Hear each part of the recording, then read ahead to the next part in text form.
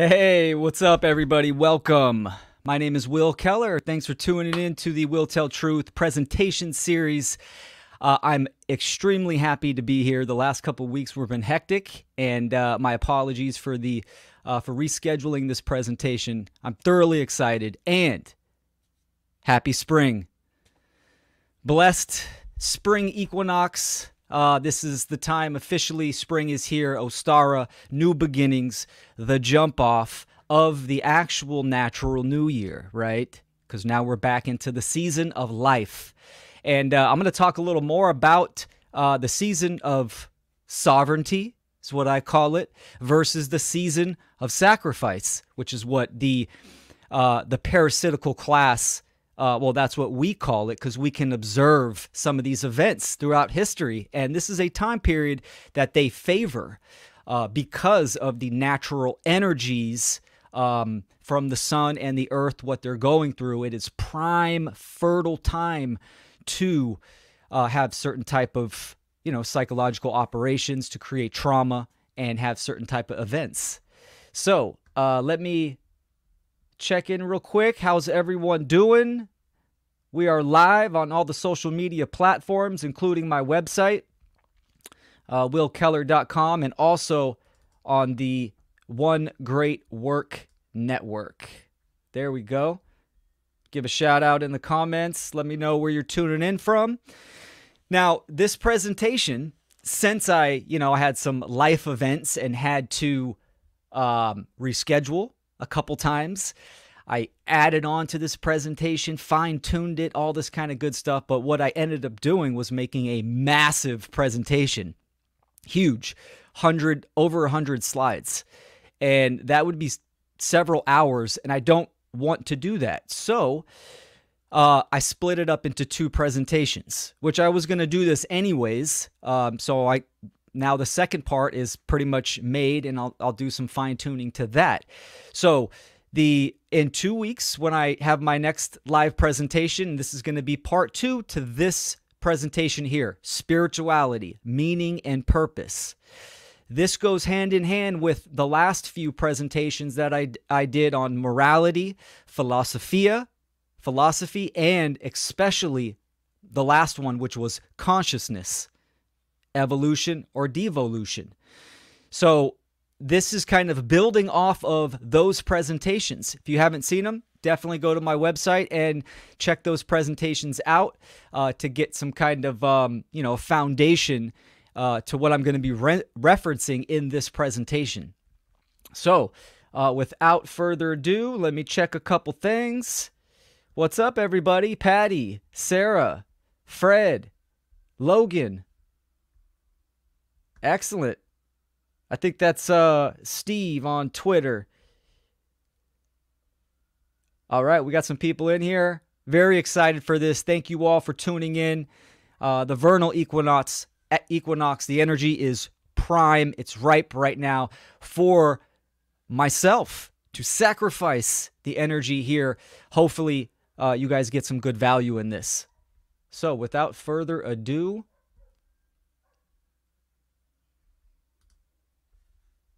here we go. So, again, the title of my presentation is Spirituality, Meaning, and Purpose.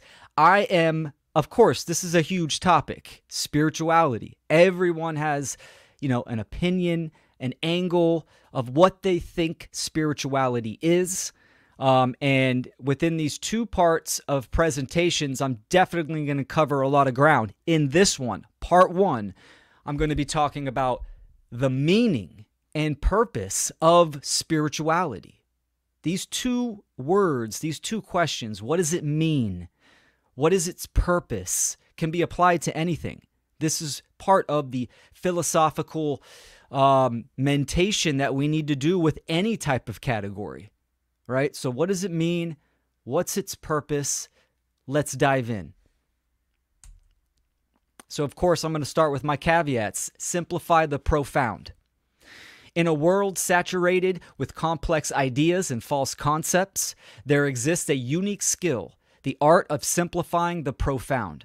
My passion and expertise lie in unraveling the intricate tapestry of metaphysical and philosophical topics, transforming them into accessible and easily understandable content that gives someone clarity on what is actually happening in the world by understanding nature. So the mission is clear to make the profound not only comprehensible, but also applicable in our daily lives through education of the fundamental dynamics of reality and to gain an accurate perception of the causal factors on how to create change in life. This is my mission statement for all the work that I do.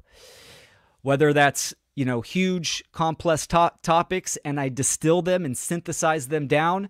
I'm trying to take, uh, you know, my background being deep within the studies and research of metaphysics and the occult traditions.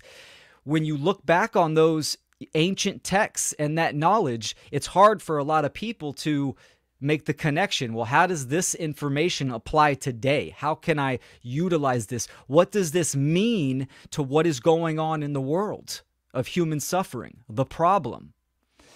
So, this that's my mission mission statement and that's how I'll jump it off. Simplify the profound. So, seek truth. Truth is the statement or quality of being in accordance with fact in reality. Truth is objective and is simply that which has occurred in the past and is occurring in the present. The truth is not relative, meaning not based upon beliefs or opinions. It is independent of human perceptions and can be discovered, understood, and our subjective perception can align with objective truth in reality. Knowing the truth exists in knowing the truth exists is the prerequisite of seeking knowledge and wisdom. Don't twist my words. Knowing the truth, the totality, the the all that's not what I'm saying. I'm talking about what is going on in the world. We can understand that the truth can be discovered, known, and can be applicable in life, meaning you can align your behaviors to what has manifested and what is manifesting the truth in the natural world, in reality. So, seek gnosis. Gnosis stands for knowledge. Knowledge refers to the understanding, awareness, or familiarity with facts, information, skills, or concepts acquired through experience, education, observation, or study. It involves the possession of information that is true, justified, and relayable, enabling individuals to make informed judgments, solve problems, and engage effectively with the world around them. Knowledge may, may come to us through our senses, by transforming sensed impressions to our consciousness, or it may come to us directly from the cosmos via inspiration, synchronicity, intuition, that that is available information for us to filter through the truth discovery process of the trivium right? Knowledge understanding and then wisdom. Grammar logic and rhetoric. So belief is no way required only the truth. Absolutely. It's our job as human beings you know we exist in this reality um, especially I mean when we're we're babies up to the formative years, we are a sponge. What are we doing? We are observing, we are taking in the necessary raw data, the information, right? And that lays the the formatting operating system for our our operation as a human being. So seeking truth, seeking gnosis, this is an archetype of the the seeker, the hermit. this can be activated. This is what I maybe in the mo- modern terms someone would say the uh, the conspiracy realist or theorist, someone that is seeking and questioning.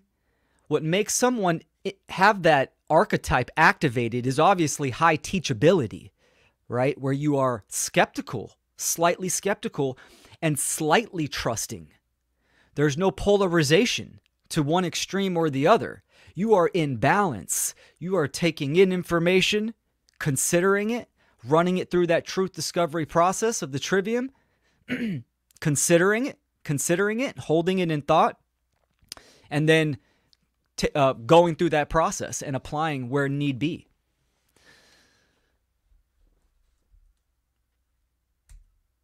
So, what is knowledge? Information can show us how to do things, but until we know the why, we have no knowledge. To be aware of effect, effects is to be informed of the physical nature of the universe. Everyone can be informed of the physical nature of the universe and still lack knowledge until he or she begins to know. It is still man in the body quite unaware. The reality is to learn and grow and is meant for asking questions, meaning the why because asking quest- asking why stimulates critical thinking and discovery of self and nature. So, like I've said many times, we're going on a quest, right? Asking that the most important question, which is why. Now you're getting down to the causal factors. Until you ask that question, this is what I'm implying that you don't actually have knowledge. Ignorance is the absence of truth. Knowledge is the accumulation of truth. To understand that it is based in truth is to understand the why. And of course, wisdom is the application of truth. Knowledge applied. True knowledge is based in truth, from, of, related to.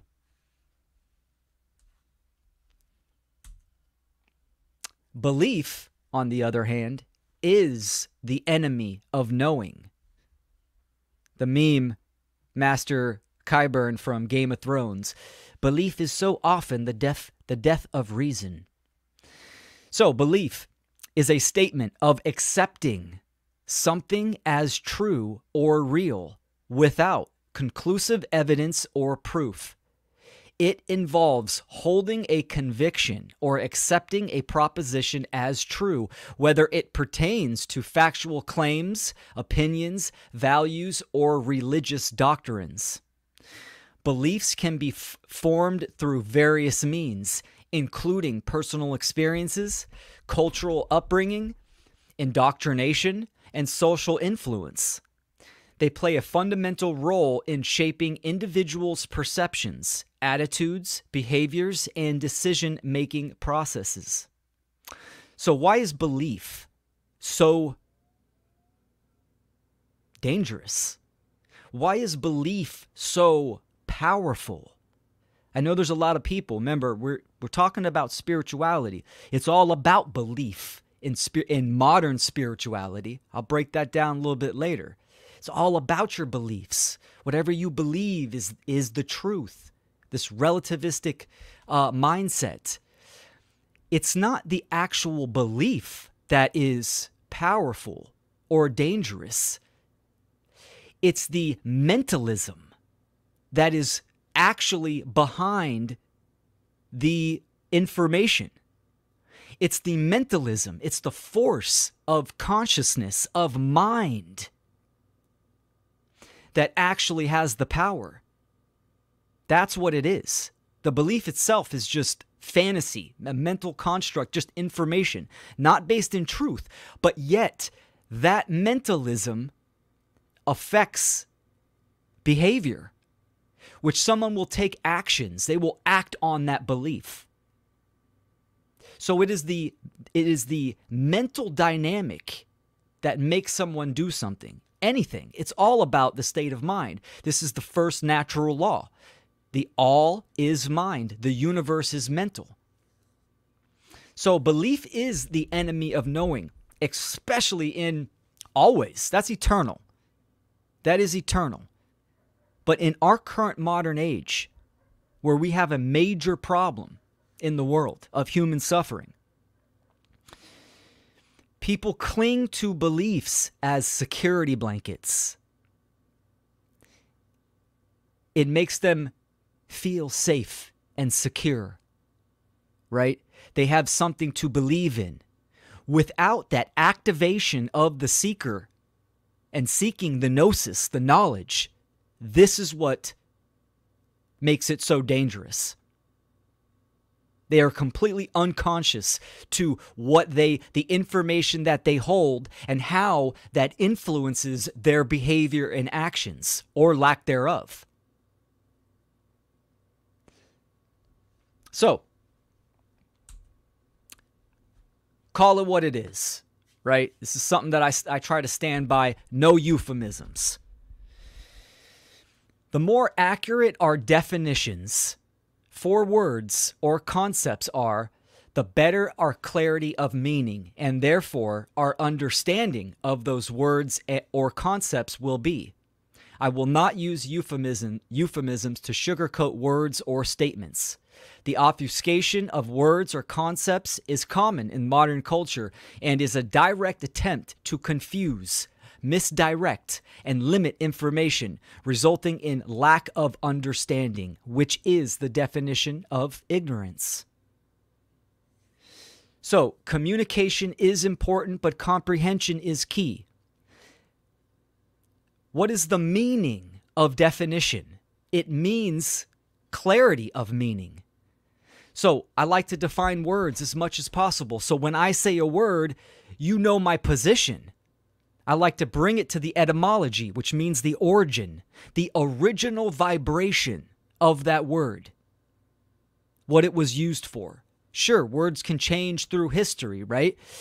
You say a word now, it, it's completely in opposition to what the original meaning was. That energy matters. That energy has an effect. So when I say spirituality, there's a whole bunch of people already have their own mentally, you know, preconceived definitions of what that is. So as I go through this presentation, they're filtering all the information that I'm expressing through their own perceived definition. So I'm going to define words and I'm going to try to simplify the profound. You can raise your awareness. You can gain so much knowledge just by going through the etymology of words. It's mind blowing. It's one of my, my favorite things to do. And I'm going to do a presentation on lexicon, on etymology. And I'm looking forward to that. That's going to be in a couple weeks. So we see this all through modern modern culture, the obfuscation the inversion of words and concepts. So, getting down to the definition is important.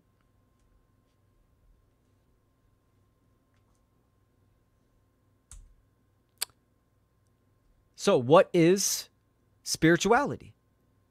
Right? This is going to be our first category. This is the, this is the question that we're going to dive into.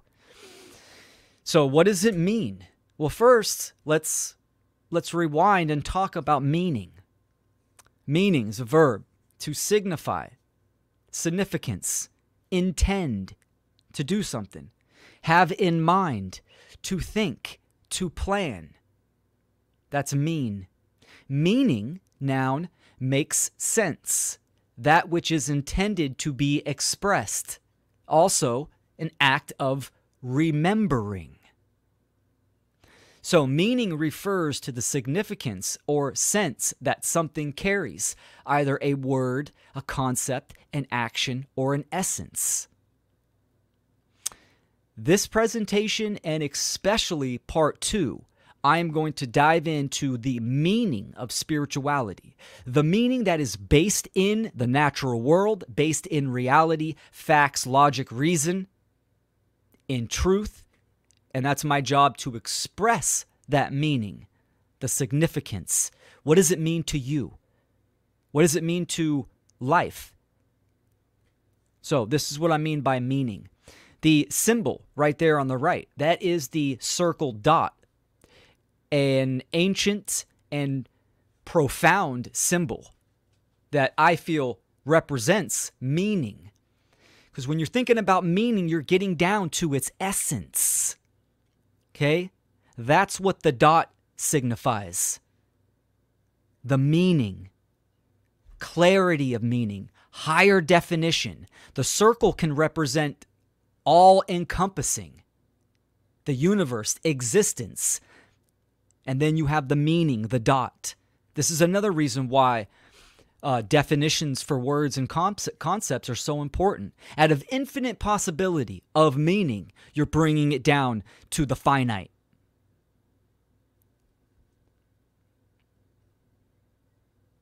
So let's talk about what is purpose. Purpose to to put forth intentional aim, goal, proper function for which something exists. You can also look at it as propose, right? To intend to do something by design. Purpose refers to the reason for which something is done, created, or exists. It implies intentionality and direction, suggesting that there is a goal or objective to be achieved. What is the purpose of spirituality? The arrow in the bullseye, also the circle dot, right? This is the goal, the purpose for spirituality. What is it what is it intended for? That's obviously a divine question. And also one of self-discovery, which we're going to uh, dive into. So, when we think about the modern world, what you know, what does the average person think spirituality is? right? This is the exoteric spirituality. Exoteric means the outer ring. If you're looking at the the target, the outer ring is the exoteric. As you move to the inwards, to the bullseye, to the dot, you are moving into the inner rings, the inner essence, the esoteric. Obviously, the bullseye is the truth. So, the exoteric of spirituality, right? This is what the average Joe, the the mainstream populace what they think it is. And actually, you know, uh spirituality, new age spiritual spirituality has definitely changed in the last 20 years from, you know, like the 70s, 80s and 90s it's definitely it it itself has its own evolution which we're going to talk about.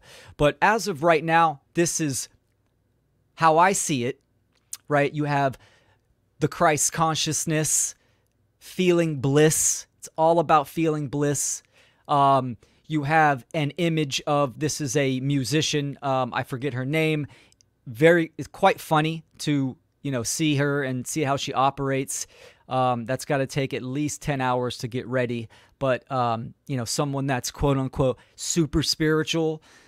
And then you have, you know, meditation and, and the, the chakra systems, good vibes only. Um, a cliche picture, everyone jumping in the air, symbolizing feel good, uh, this you know fake sense of unity. Uh, then you have men that are, uh, this is for I'm representing the men as as being overly polarized, right? Overly in the the feminine energy, the feminine dynamic, and and crystals as well, right? Now, the chakra system, meditation, crystals, I dig it, right? These are sections that have certain uses. They are not the purpose. They are not the meaning of spirituality. So in this slide, I would say this is the exoteric. And sure, the list can go on and on and on. But in the nutshell, when you say spirituality, a lot of people think positivity, good vibes only, right? So we're going to do the apophatic method first, talking about what spiritually spirituality is not first, and then we're going to dive into what it is the purpose and meaning. Unauthentic spirituality is where individuals engage in spiritual practices superficially, often for personal gain or to project a certain image. It often leads to polarization, where individuals adopt extreme views and attack others who don't conform to their beliefs. This polarization can hinder genuine connection and understanding. Unauthentic spirituality also fosters passi- passivity, where individuals use spiritual ideas as an excuse for inaction, avoiding personal responsibility and the causal factors of human suffering because it feels negative or uncomfortable to engage. Emotional reactivity is another hallmark where individuals may claim spiritual superiority but are easily triggered and reactive to external events.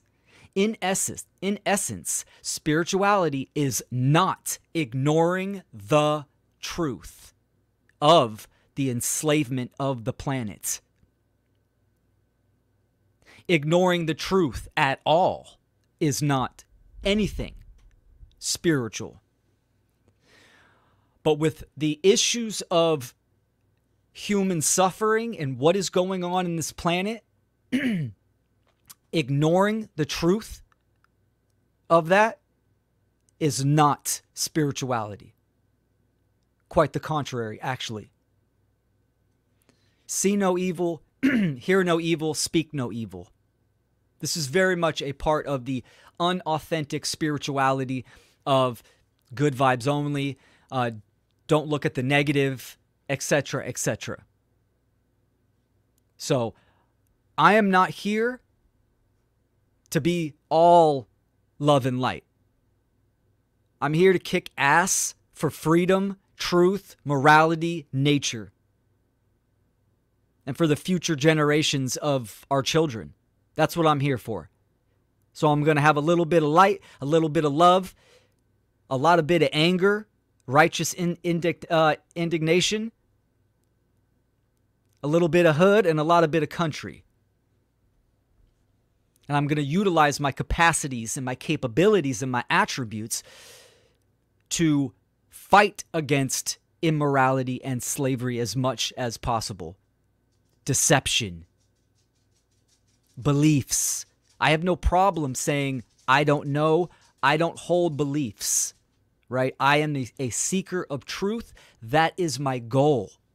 This is what I want to do. This is an ongoing, continuous journey. That does not mean I'm going to know everything. That does not that's not what that means. It means that I don't hold ideologies and information that are not aligned to nature and truth. That's what that means.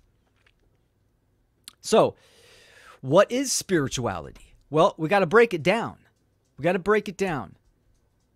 And we got to start with spirit. What is spirit?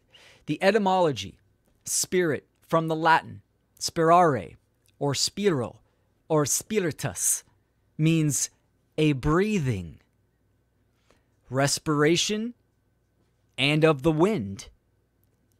It means breath, or breath of life inspiration, life, disposition.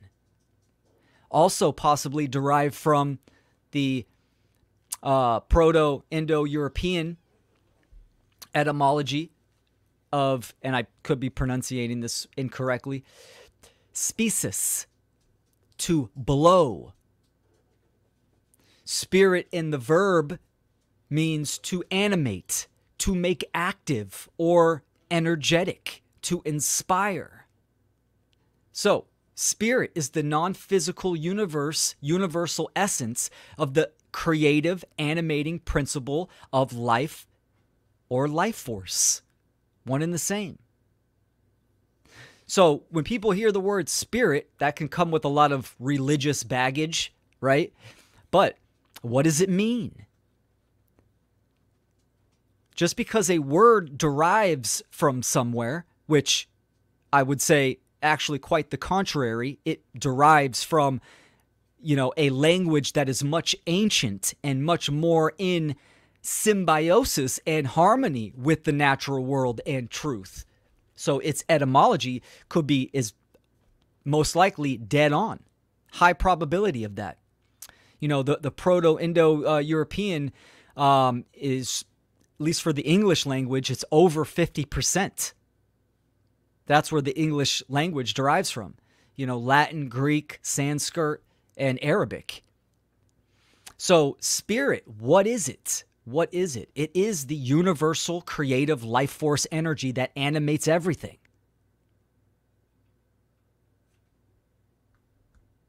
I did a toroidal uh, symbol. To me, this is a good representation of spirit. If you have to, if I have to use an image, we can see, you know, the sacred geometry, the golden ratio, the toroidal, the hyperboloid, uh, the inverse hourglass, the spiral. We could see this all throughout nature and in everything, right? Very good symbol. So when we think of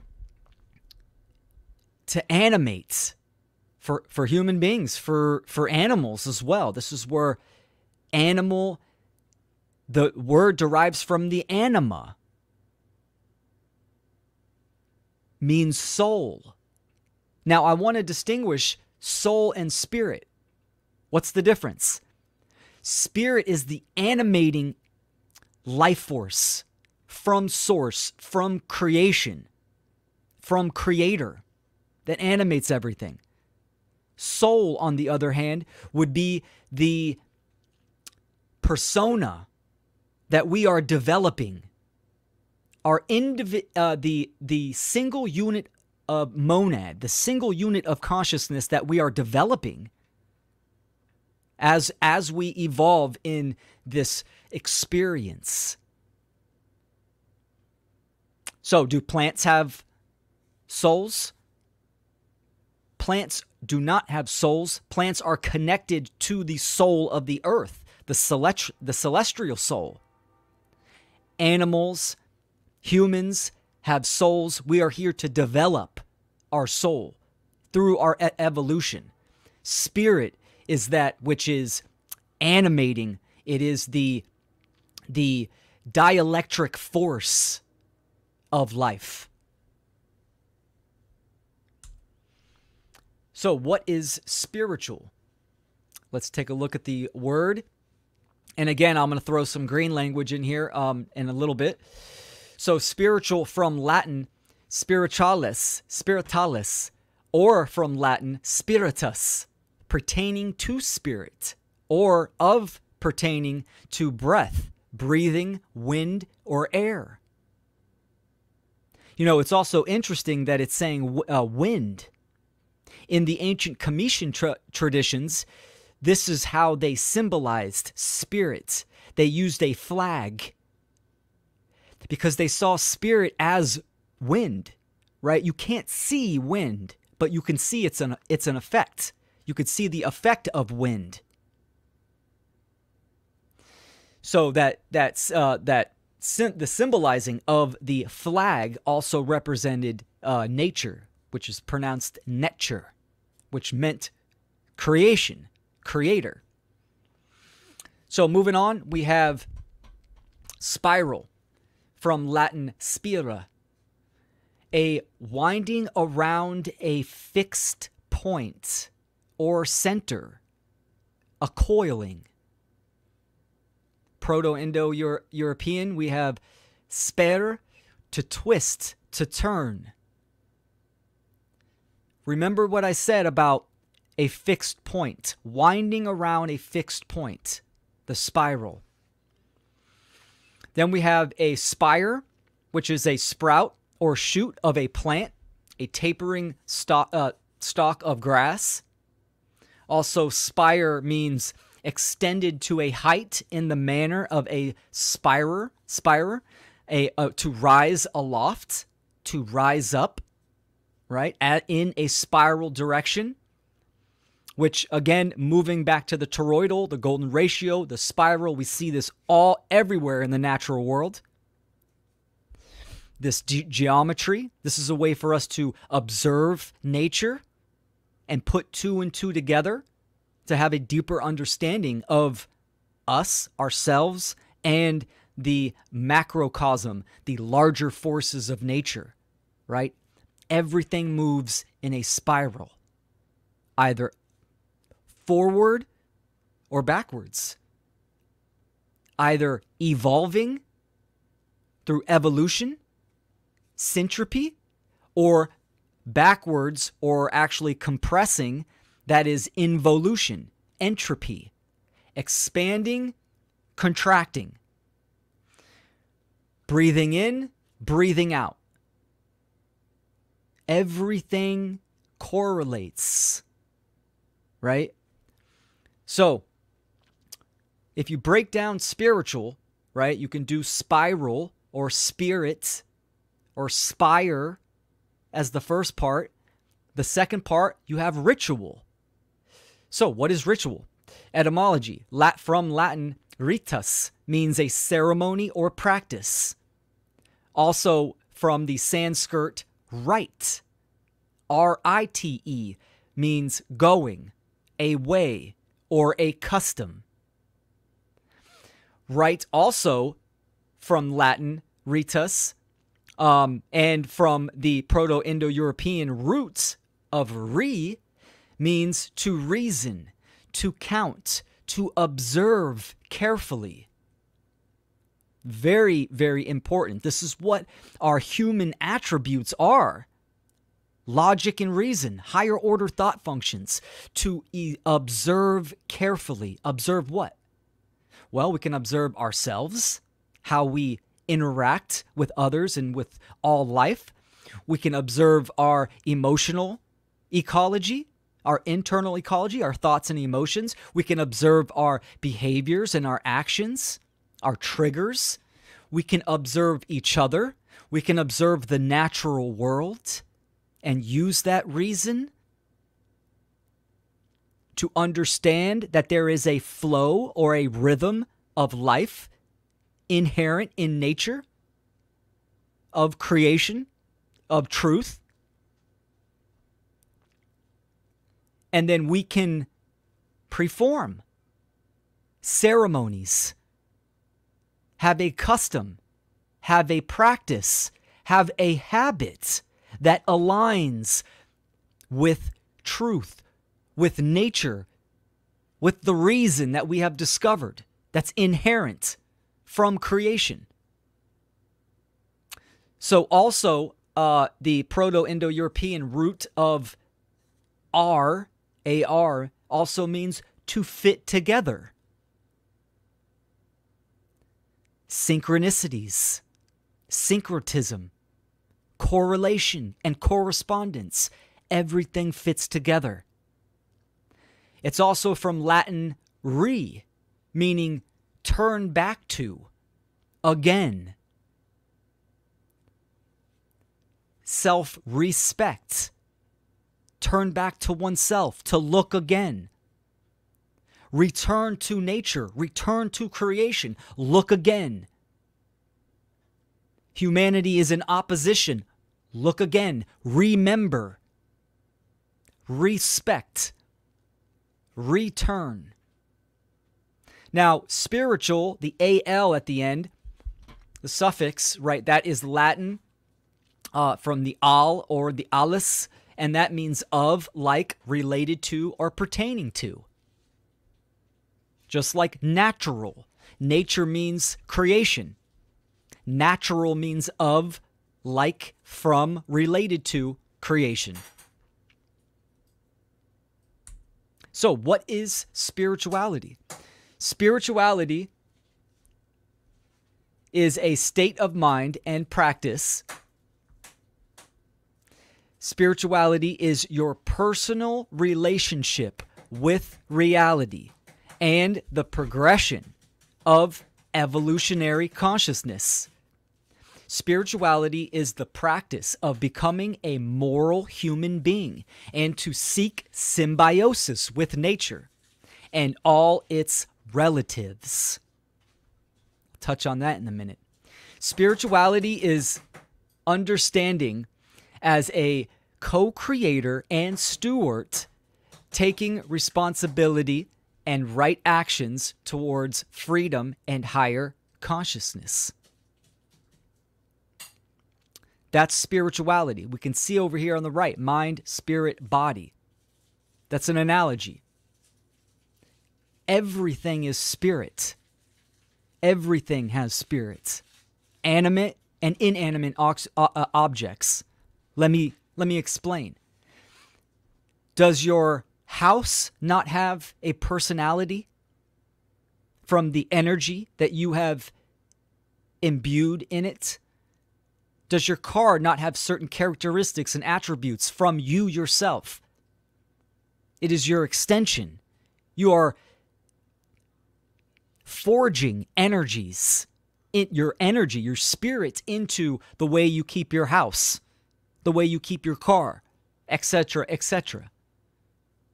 That's what I mean by inanimate animate objects, right? The way you do a painting, write a book, so, spirituality, we'll go back to this, right? With the spiral and the ritual. The spiral ritual.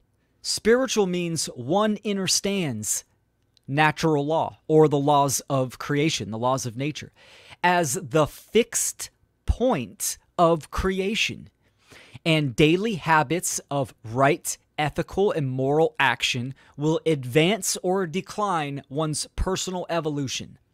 Life is not linear. It is a spiral like the geometry of the golden ratio in the natural world.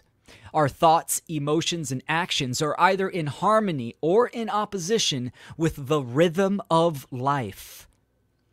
The consequences are inevitable. Embodying holistic consciousness to strengthen, discover, participate, and progress forward upon the spiral path is a daily discipline. Your daily choices are your habits. These are your rituals, what you do in the morning, midday, in the evening. This is your ritual. It that's simply what it is, habits. Sure, you can have larger ceremonies like today for Ostara, for a uh, the, signifying, you know, officially spring, reverence to the sun and to nature. Absolutely, you can have larger ceremonies. But a condition of the self or of humanity is based on individual actions. The single units make up the whole. So, what you do on a day to day basis, is it in harmony with creation, with nature, with truth? This is what's going to decide you, the condition or the quality of your spirituality. So, the spiritual domain.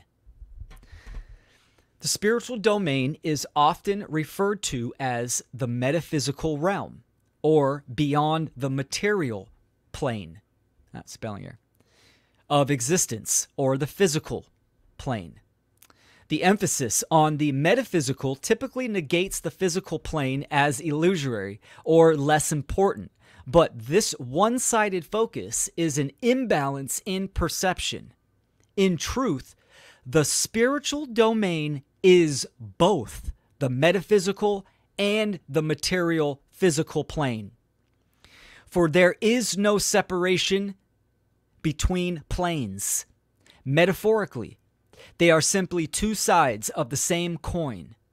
Both realms reflect and affect each other, creating a system or substrate of operation.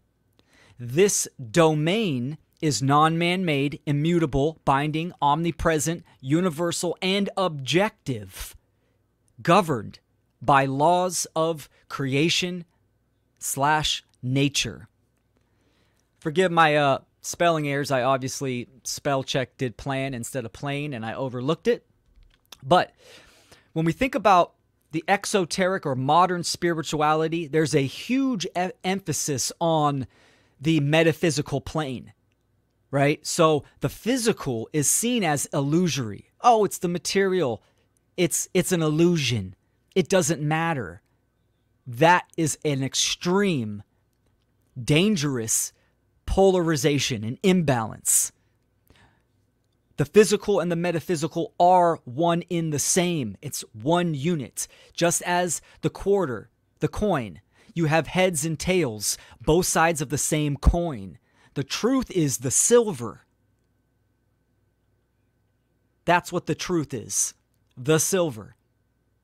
If you're looking at it from heads or tails, you're perceiving it from the heads or the tails, you're looking at it from a half truth. You only have one half of the perception.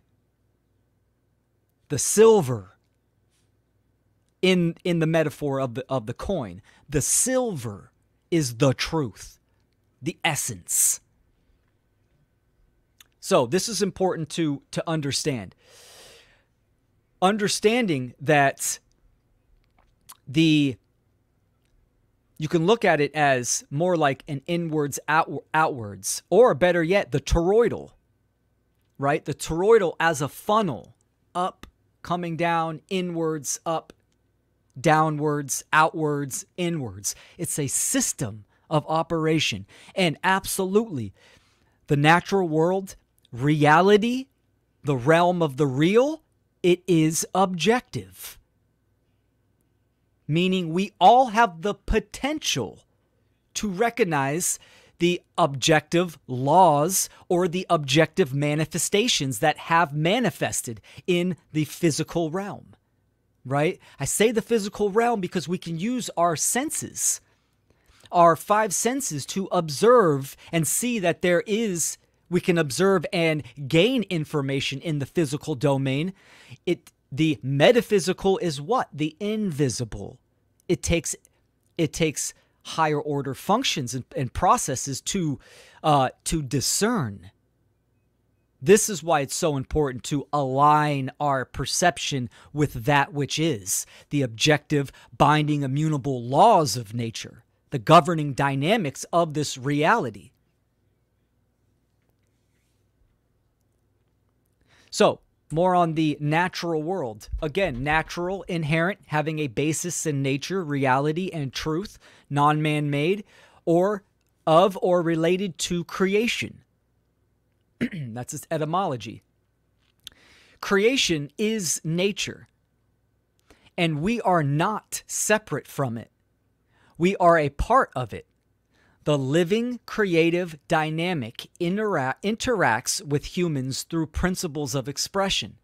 These immutable and binding boundary conditions, calls, called laws, are in place by creation, nature, to guide humans within the experience.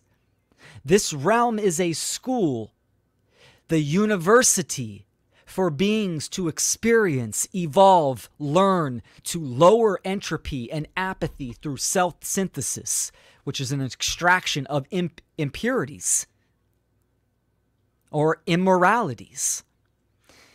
Nature and her laws are objective and absolute. The natural world is the realm of the real. There is no lie in nature, it has no euphemism. Getting down to the bullseye. The truth is the bullseye, right? When we think about spirituality and spirit, the creative, intelligent energy that is, and mind, consciousness that is in everything. We are not separate from that. We are part of that system. So, Natural law is the governing dynamics of creation, which deliver the consequences of humanity's collective behavior. Natural law is the fundamental substrate for all phenomena.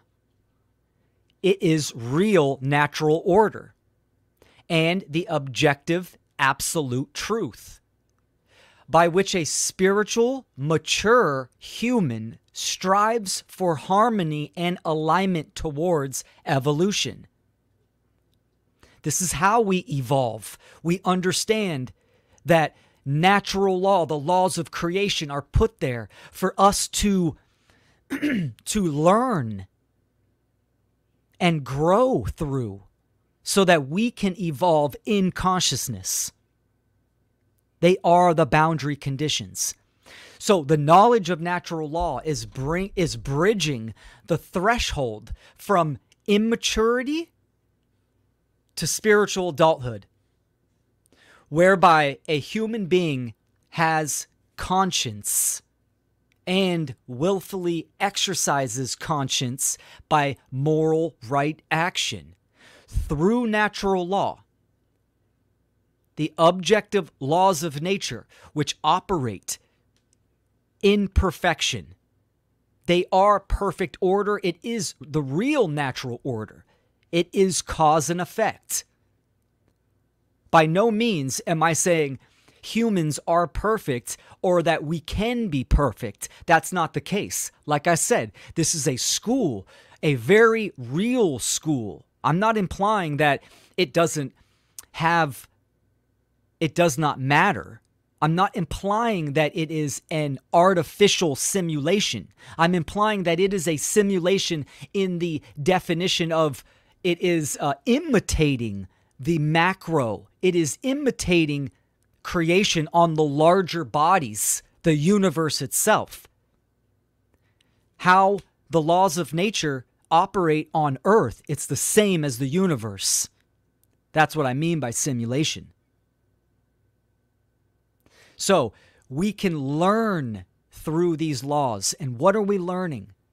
We're learning how to operate, how to align to the rhythm of life, to ascend the spiral staircase, so to say, to become spiritual, to understand what that means and what is its purpose, to become an, a human being. A human being means that you have logic and reason and care in hand, and you know the difference between right action and wrong action, which is conscience the knowledge of right and wrong. And then you willfully exercise that conscious in your action.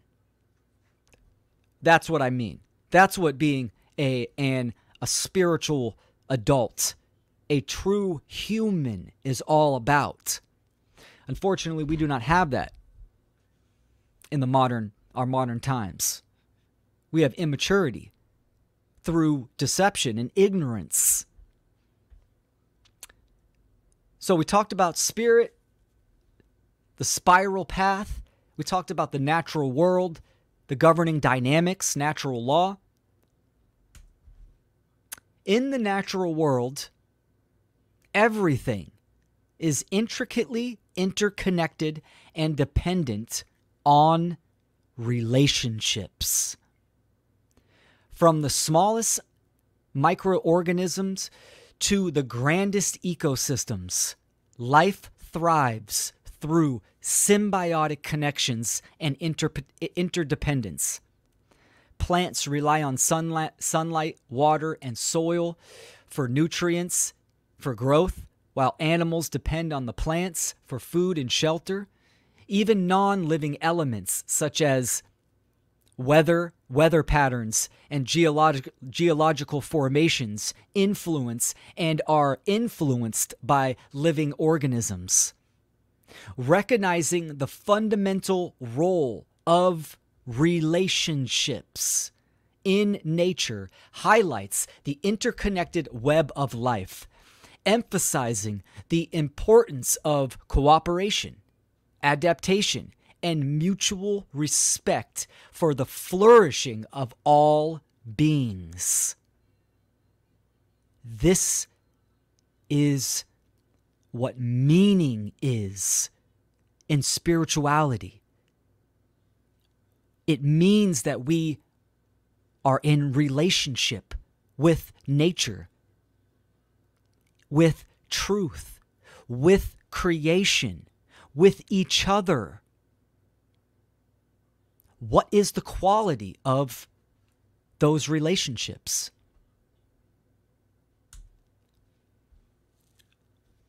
Relationship, the definition means your position to.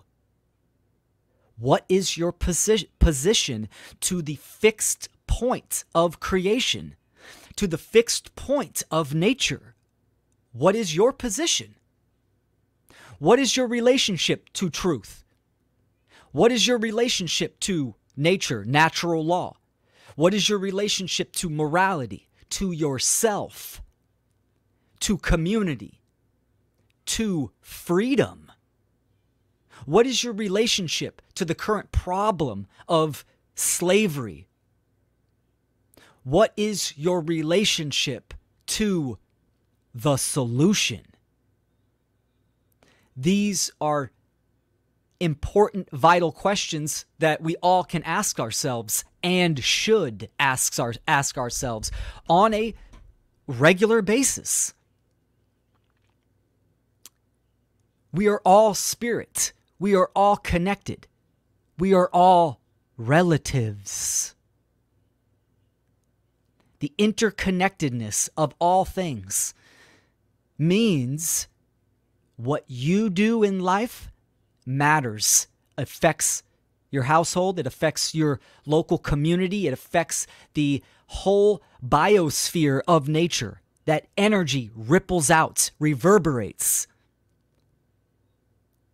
So, what are the billions of human beings? What is their position to truth, to what is going on in the world, to the solution? What is your relationship to honesty, integrity, morality, ethics? Big questions, deep questions, vital questions.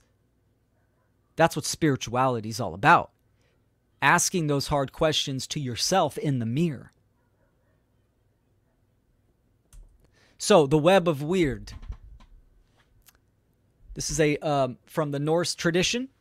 The concept of interconnectedness, epitomized by the web of wyrd in Norse mythology, emphasizes the intricate relationship between cause and effect.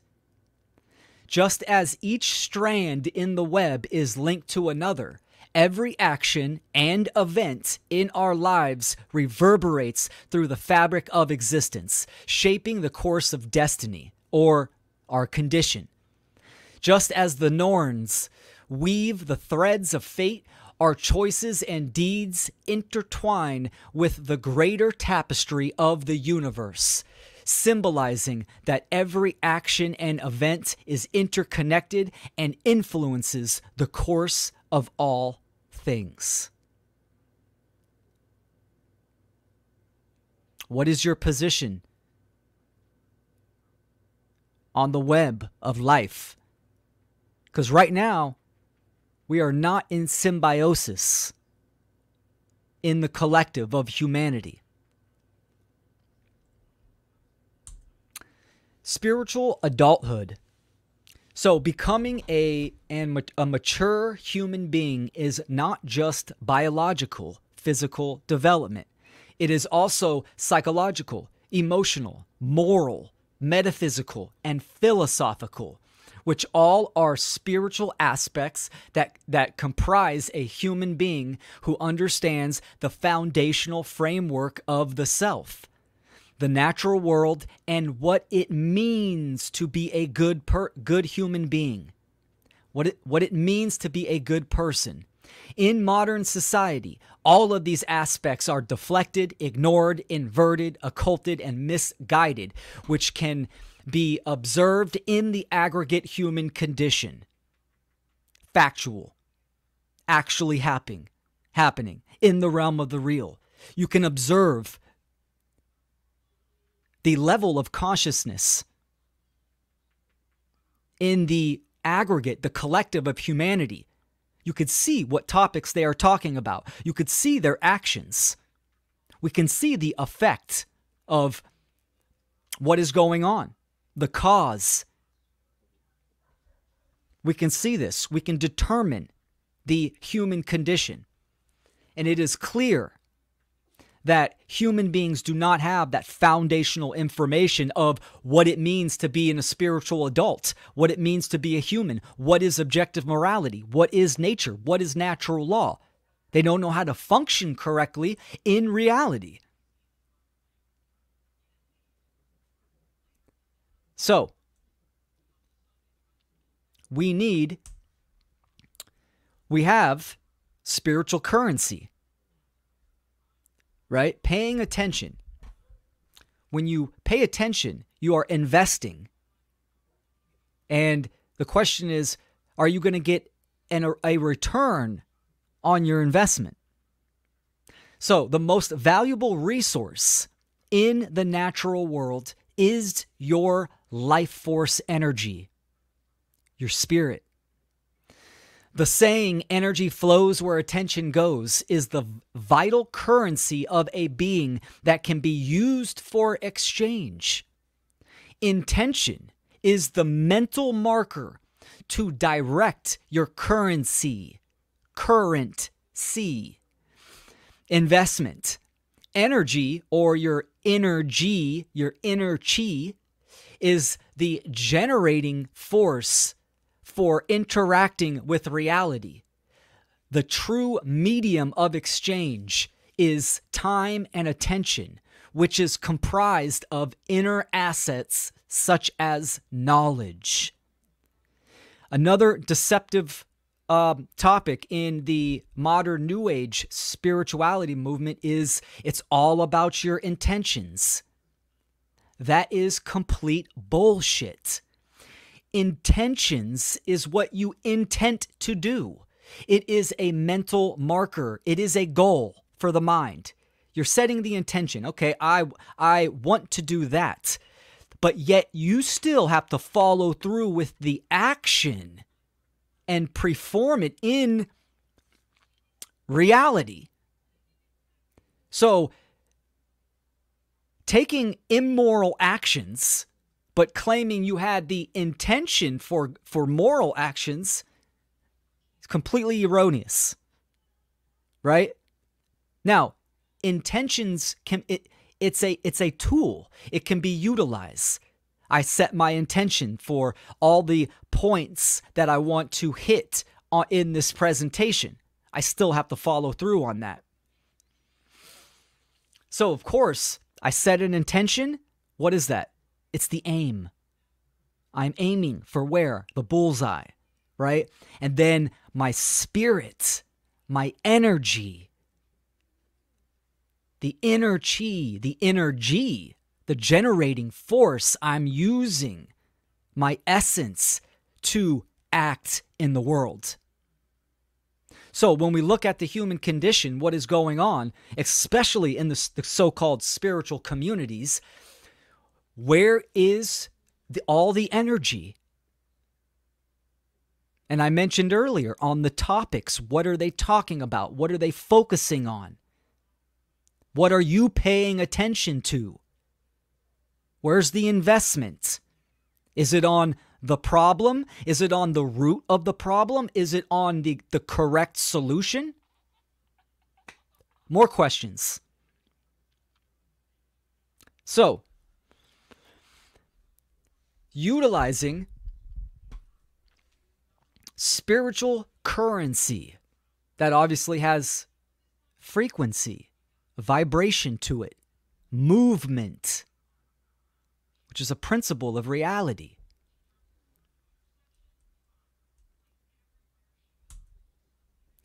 So, paying attention. I want to get into more of the the meaning of spirituality. And 100% it is freedom. The freedom to utilize and express your spiritual currency, your spirit, your energy. What is freedom? Freedom is the state of free will expression without the violation of natural rights. It is the condition of being free, the power to act, speak, or think without externally imposed restraints, the emancipation from slavery. So, freedom is your inherent, based in nature, right to express yourself by any means as long as you are not violating another's natural rights. Now, when we take this definition of freedom and we apply it to the world today, are we free? And the question, if you're being honest with yourself and if you paid attention, the answer is absolutely not. Externally, externally, many, the majority of people are internally enslaved as well. Right? We have duress, coercion, the violation of natural rights, murder, rape, taxation, which is theft. All of those are slavery because slavery is a claim of ownership. I claim you. You can't use your currency, your spirit, your expression to perform this. That is a claim of ownership. That is the definition of slavery. But the meaning of life is to achieve true freedom by discovering our sole purpose and by expressing it out into the world, thus contributing to the uplift and the evolutionary growth of humanity and the planet. Right? Expanding the web of wyrd. Expanding the spiral of consciousness. That is evolution more expansive, more diverse, more unique. It's artful. It's an expression of art, divine art. So, through knowledge, understanding, and right action in accordance to the laws of creation is the key to unlock the doors of our enslavement and achieve humanity's purpose of active, conscious evolution right? The meaning of life, why we are here. We are here to express and learn and evolve. That's freedom. But yet, we are in a state of restraint, of control and duress. We cannot express ourselves freely because we are in a state of slavery. Boom. That is the problem right then and there. It's time to pay attention to that actual problem. That is the root of the problem. Of course, we need to ask why, which we will get into. So, life is meaningless if you are enslaved. Does one think just because you have a cage and you have food and quote unquote security, you are free? Absolutely not. You are a slave no growth there. You will contract on the spiral, the spiritual path of consciousness. No growth there. That's an illusion. We want to evolve. And of course, my last presentation on consciousness, right, I touched on this in more in depth. So that's the meaning of spirituality, to understand freedom. That's, that's for all, for human beings. The meaning of life is freedom. Of course, you are having your own subjective experience, so what you do matters. And what you do with that, with your life, matters, right? But on the macro, looking back, looking, zooming out, the meaning of life is freedom. What is the purpose? Humanity's purpose in the collective, in the aggregate, when we learn that nature never takes anything which is not given, and that the cosmic law is based upon giving and re giving equally, we shall have advanced far towards our spiritual goal Man's purpose on earth is to build happiness, peace, and goodwill on earth. He can find peace, happiness, and goodwill only as he ceases to build chaos. he has been building chaos and expecting this chaos to to crystallize into unity, which is impossible. The whole universe is purposeful, and that each thing must fulfill its purpose. Humanity must find that purposefulness lies in the alignment of natural moral law, not in the direction of chaos, which is rooted in the opposition to nature. So, what is humanity's purpose? Our purpose is to end slavery. This is a collective event, a cooperative event, because we are being restricted. The natural world in its whole, the web, is being affected in the biosphere. As above, so below, as within, so without. If we do not make this our purpose, we will continue down the road of chaos, control, duress, slavery, and it will get worse and worse per the laws of nature. Give and re give equally. If we, humanity, in the aggregate, we are giving immorality, opposition, ignorance. We are going to get that equally back in the form of chaos, disorder, suffering, pain. It's very simple cause and effect. That's the law of attraction right there. So, in the aggregate, humanity's purpose. Now, naturally, our purpose is to create peace, happiness, and goodwill on the planet so we can evolve up in the evolutionary process, which we can achieve at some point. But will we achieve that? That's up in the air. That's going to take an act of will.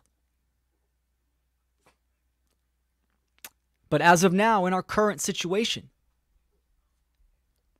we need what we need is cooperative spiritual anarchy. Cooperative meaning together, in unison, symbiosis, spiritual anarchy. Anarchy meaning no rulers, no masters.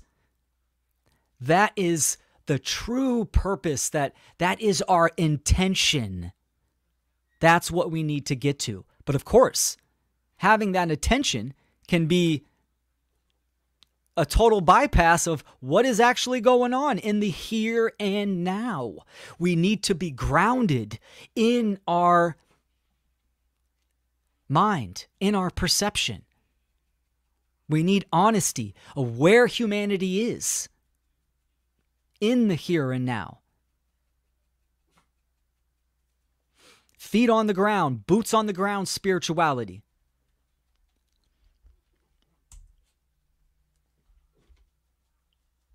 All right, sovereignty. So we are here. This is our this is human purpose. You can see this as even an individual human purpose. We are here to master being human and become our sole purpose. Each of us is here to learn and evolve in consciousness into our own unique expression of self mastery. Your goal is to discover and activate yourself to uplift and inspire humanity to do the same.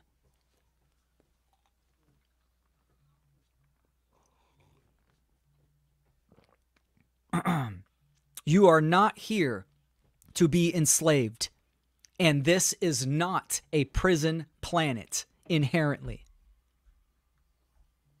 Oops. Put that back on. There we go. I'll say that again. You are not here to be enslaved. And this is not a prison planet inherently. The natural state of this planet is one of freedom, one to promote evolution. But of course, to have true freedom is to have the potentiality to fail. It's to have the potential of evil or living in opposition. To live backwards is evil. That potential is always going to be there. We mitigate that through knowledge and through wisdom. So, sovereignty is our inherent purpose. Each and every single human being, you are a sovereign, meaning you are above rulership. You own yourself. You are not a slave. But unfortunately, the majority of people are acting like it. They are acting like slaves. They are unconscious and supporting and condoning slavery.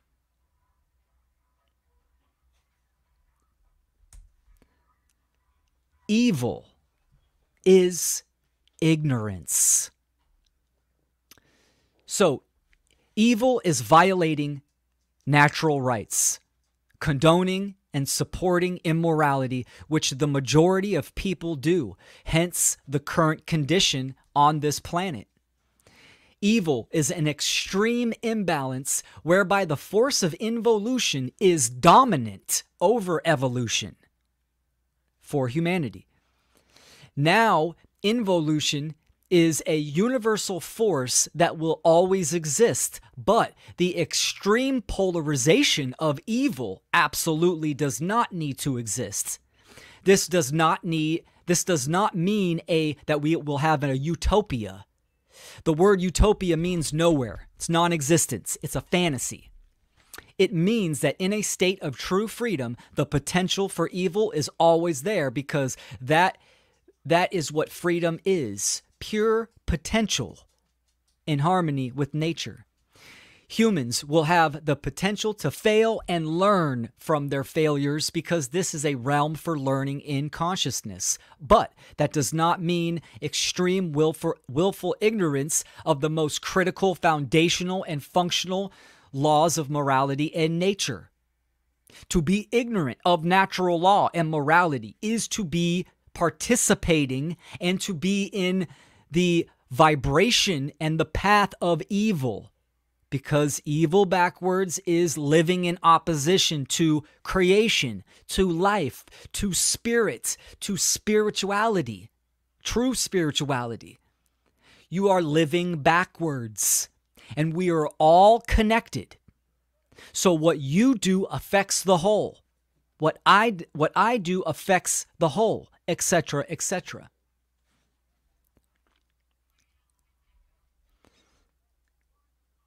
So, it, it, uh, another example, you can look at it as pain and suffering. Pain is inherent to the natural world, to nature. It's a part of this learning process to experience pain, right? Whether that be, you know, working out to get in shape. Look at childbirth. Painful. Obviously, that pain is for a purpose. That's that's amazing, magical. There's also pain that harms us from trauma. Now, what's the difference between suffering and pain? Well, by definition, suffering is an allowance of an extreme amount of pain. So, although pain is natural and part of the growing process in nature for human beings and for, for animals as well. Pain is part of the process, suffering is a choice. Where we are, most people are unconscious to the reason, to the why they are experiencing so much pain. That is suffering. And you don't have to have suffering. We don't have to be dragged through the abyss. Our children potentially in the future shackled and chained. For them to finally realize, oh shit, we're enslaved. That doesn't have to be the way that way. That's going to take what we do, individuals, what individuals do. So, I know I've I know I've talked a lot about the problem already. I'm going to I'll run through a few of these slides. So, the problem, cosmic crimes. The enslavement of the planet is a cosmic crime of the highest order. The culpability lies with those with those performing the actions, meaning the ones actually performing the behavior of violating natural rights, which perpetuates the system of control, coercion, violence, and slavery. These behaviors are completely ignored and or willfully complicit with by the majority of the human family. Their silence is contributing to the problem, which by ignoring the negative more of that condition will manifest. That which we resist will persist per the laws of cosmic moral justice. That which we resist will persist. So absolutely this this opposition to nature, we are in an imbalance too much involution. We keep heading down that plant that path, then extinction is a possible result. The killing of the planet, potentially, it's a living being. We are all connected. As human beings, we are the stewards of this planet to take care of, entrusted to one's care. That's what stewardship is and we are doing a horrible job. So, those that are performing the action, the police, the military, nurses, teachers, anyone, anyone that is performing the action, look at the needlecraft. Any any nurse that performed the action of, you know, injecting needlecraft into someone, you're culpable because you performed the action. The police and military dropping bombs and killing people right now. It's your fault. You are performing the action. You have the majority of culpability. Now, yes, of course, there is social engineers behind the veil at the top level of the pyramid, orchestrating and influencing with their knowledge of natural law. They are influencing these people. But that does not negate the culpability of someone that actually performed the action. So, religion, the one and only problem. Hope you guys are enjoying this. Um, all right, religion. Now, the the exoteric, or I should say, modern spirituality, the modern New Age, is very much intertwined with what I'm going to talk about. I mean, directly. So, religion, let's do the etymology. It's from the Latin verb religare, meaning to bind, to hold back by tying, to thwart from forward progress. I talked a lot about this in the consciousness presentation. To bind back. Bind back from what? To thwart from forward progress. What's the progress? Evolution, evolving in consciousness, becoming a spiritual adult that's what religion does. Religion is a system of sociological control based in unchallenged, erroneous, and dogmatic belief, which is specifically designed to hold back the progress of human consciousness. The term religion does not merely refer to the belief systems of the cultural religions Christianity, Judaism, Islam, etc.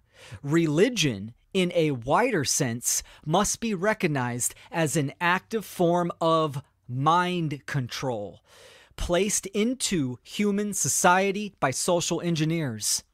Religion, in this wider view of the term, includes an array of limiting and controlling belief systems or social structures such as authority, government, money, mainstream media, scientism, materialism, solipsism, carnism, nihilism, escapism, hedonism, atheism, atheism, and even spirituality, the exoteric spirituality, and many more. The list goes on and on. Buddhism, all of those. If it thwarts from forward progress, it is in a religion. It is in a religion. It is a cage for your mind. It is a limiter of awareness and perception. All of the cultural and modern religions have some common factors, such as the adherents tend to be very intolerant and destructive to outsiders because they are cults of exclusion. This is very much directed to the cultural religions Christianity, Judaism, Islam, right? It's they are cults of exclusion. No, my way is the truth. No, my way is the truth, etc., etc. They all think that they have the path to truth. So another common factor is um, uh, there is an abdication of responsibility, meaning one gives up their obligation and duty to act in the world and to align themselves to truth and morality and natural law. They do not align with nature and are dogmatic. They are belief systems because you need to believe and accept them and not and not actually use logic and reason. They're not based on facts. They are dogmatic. They, they all claim to be the arbiters of truth, reason, and authority.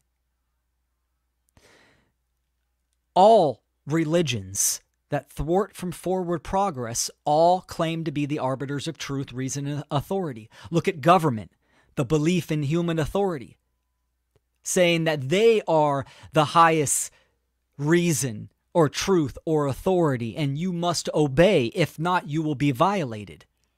Look at Christians saying that Jesus is the way, the light, the truth, etc. Even Buddhism saying it's all about non attachment. Like that is the ultimate reason, etc. You can go on and on. Now, I'm not saying that there are there are for the cultural religions there are aspects of there are aspects of truth in these cultural religions uh, in context to the religious doctrines and ancient texts, but it's 90% deception because that we're talking about a man-made mental construct, 90% um, deception, and 10% based in truth which is allegorical, archetypal, metaphorical, metaphysical, and astrotheology. But people don't have the eyes and the ears to see and hear that to discern the information and how it relates to nature and to truth. So, all forms of religion are are what put the human mind in a cage and keep and keeps it there. We have to understand that religion religions have been given to humanity. They are man-made. And what is the reasoning for that? To control the mind. If you control the mind, then you can manage currency. Spiritual currency, energy, spirit. You can manage it because you are influencing you are influencing someone with incorrect information and then they are going to act upon that in- incorrect information. So you can control humanity. You can control society through mind control. And this is exactly what is going on. How does someone know um, that salvationism? Absolutely, Fred. That's a, that's a good one. That's a good one. A lot of these religions, there's another common denominator, right? Oh, if I just have enough money, all my all my problems will go away oh, if we just get this person in in political office, all the problems will go away. Jesus is coming back to save us all.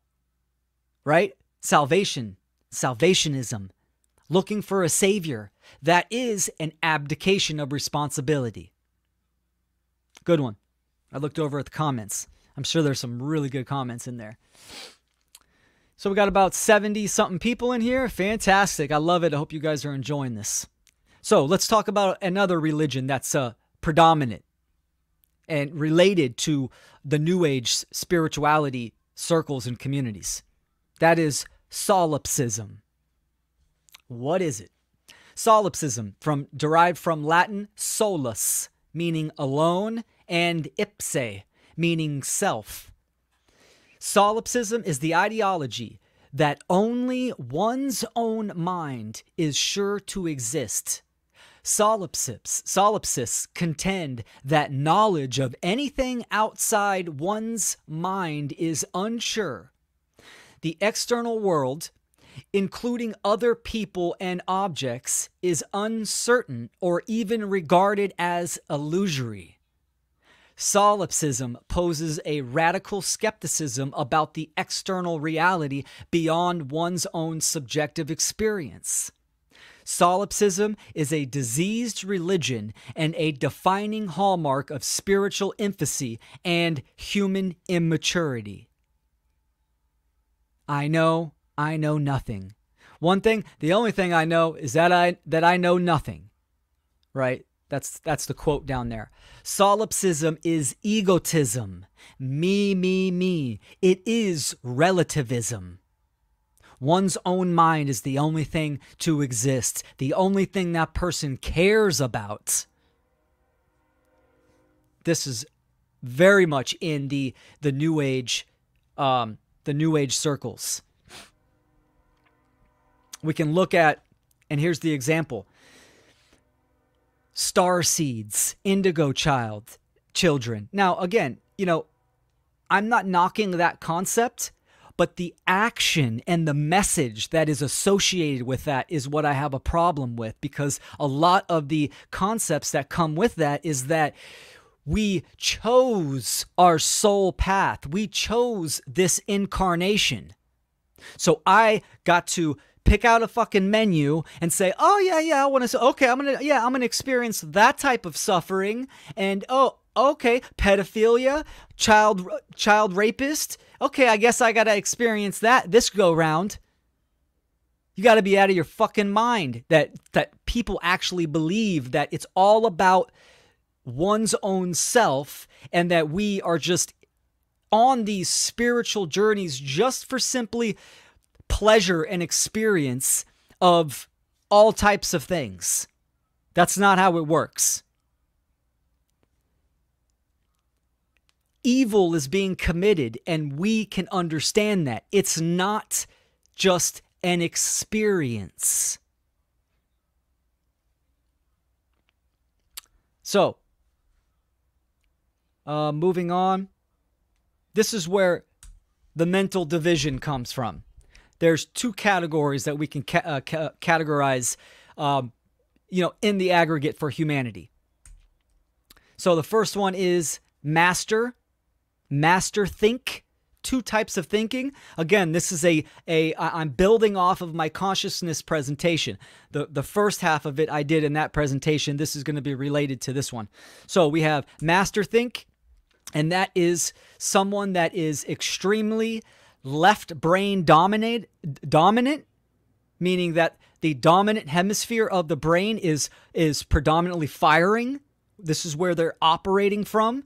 And the hallmark characteristics are atheism scientism solipsism moral relativism social darwinism and total, total, totalitarianism. Woo and on the second half, we have the slave think, which the master think is extremely active and controlling externally, wanting to control. Slave think is the right hemisphere of the brain, firing more dominant, and it is extremely passive, internal. Religion unworthiness, self loathing, addiction, order following, and a willfully willfully slave just following orders. So, these two we can look at in the aggregate of humanity. There's many people are firing in the uh, right brain hemisphere, very dependent on that. And these are the attributes, or the left brain. When we think about New Age and spirituality, nowadays, there's a com- combination of both, ultimately, right? But we can see that it leans very much to the slave passive side of the brain.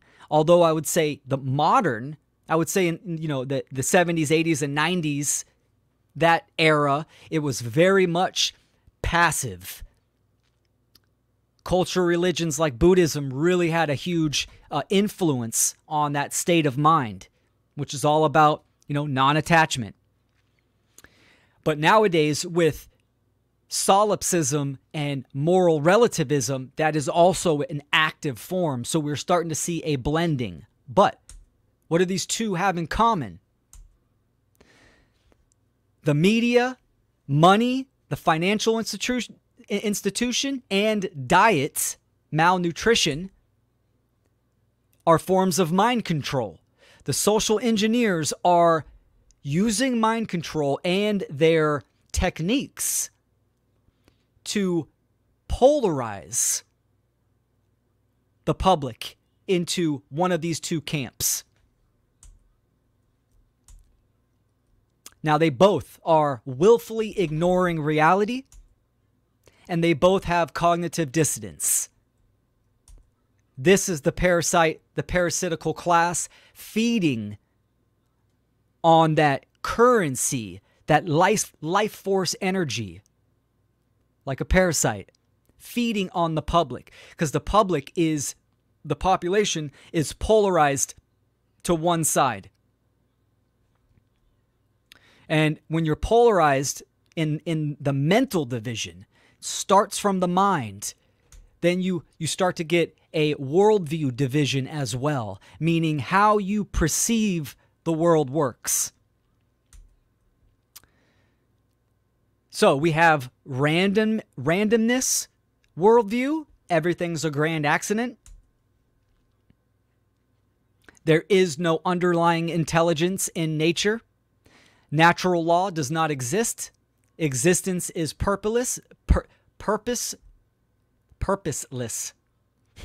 Hallmarks of atheism and scientism. That's on the master think side, the left brain dominant. And on the right brain, the passive, it's determinism, meaning everything is already predetermined. God controls every event in creation. All occurrences are preordained. Free will doesn't exist. Change is impossible and action is meaningless. Hallmarks of religious extremism, right? Spirituality, the New Age, it's all about the spiritual domains. Doesn't matter what's going on in the physical, what is going on, what actually in truth is going on on the planet, because we're all in our own individual reality, having our own individual soul path. And that's all that matters is that we have good vibes and happiness selfish happiness exactly. There's not a greater purpose to why I'm here, what the meaning of why I'm here, what the purpose of what is going on in the world and what I should do. It's all passive. It's largely focused on the afterlife. After I die, oh, heaven, hell, right? Etc. The astral realm. God's got everything in control trusted. What would Jesus do? Jesus has got that. So, these are the two overarching worldviews that the majority of people see. It's either randomness, everything's a grand accident, etc., which is highly analytical, left brain, and then of course determinism. God controls every event in creation.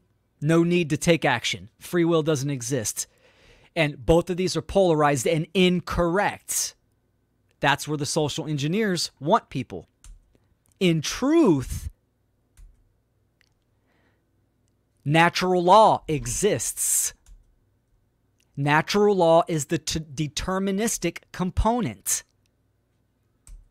And we have free will, which is the random component. So, in fact, in truth, in reality, it's both random and determined, meaning that we have the free will choice to choose our actions, to make our choice, but absolutely 100% we are not free from the consequences of our actions and our choices. Natural law is going to respond to that. I give an action, I'm going to receive from nature, from the laws of nature, an equal action, reaction.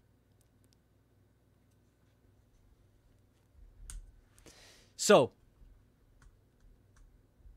oh, let me, oh, sorry. Let me go back to that. Well, oh well. Left I'll leave that in there. Inversion and obfuscation. The social engineers love a principle, two principles called inversion and obfuscation. They love to take the truth and flip it upside down and propagate that to the public in the educational systems and all throughout society. And they also love to obfuscate words and concept concepts for confusion. Because again, if you don't have the correct information, then how can you make a correct decision?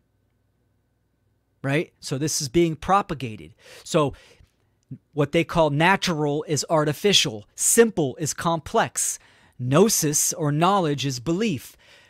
Principle law, natural law, they have man's law. Dominion, punishment, meaning you have dominion over yourself, you own yourself, sovereignty, right? But of course, in the in the uh, social engineers worldview perspective, you cannot express yourself. You will get punished for your dominion over self. Individuality, groupthink, truth, lies, good, evil, freedom, and slavery. They invert everything, just as human beings are disconnected from nature, from the rhythm of life right now, is because we are living backwards. We ourselves are in inversion, inverted. And we are in a state of internal confusion because of our ignorance and what we think certain aspects or what the world, how the world operates from our worldview. We think it works a certain way, and in reality, we are incorrect, and that affects our behavior. Inversion and obfuscation. So, the mental division, the worldview division, inversion, and, obfus- and obfuscation obviously leads to delusion and illusion.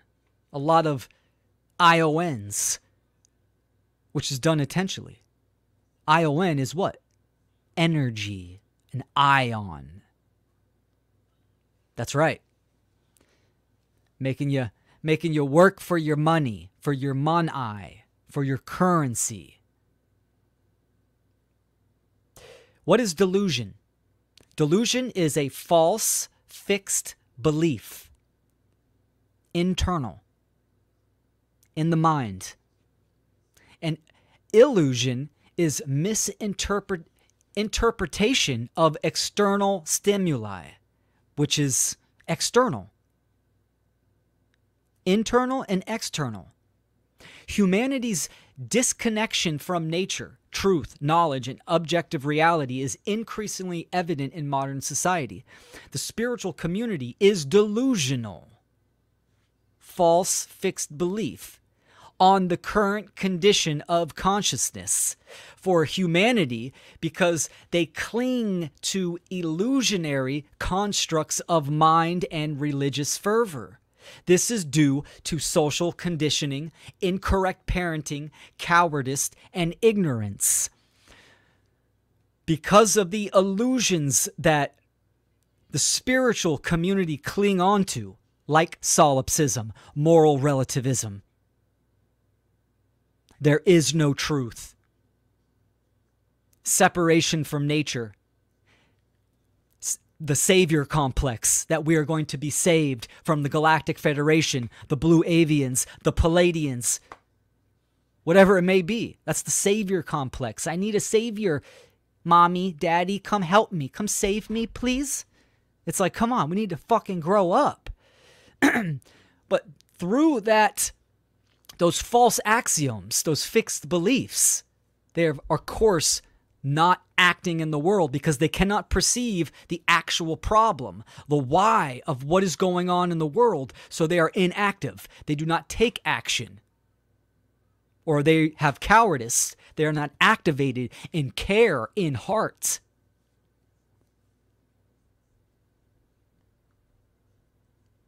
They need to bring, we need to bring the unconscious mind to the surface, right? Understanding the conscious mind is the awareness of here and now. I have awareness of what I am doing. The unconscious mind is the shadow.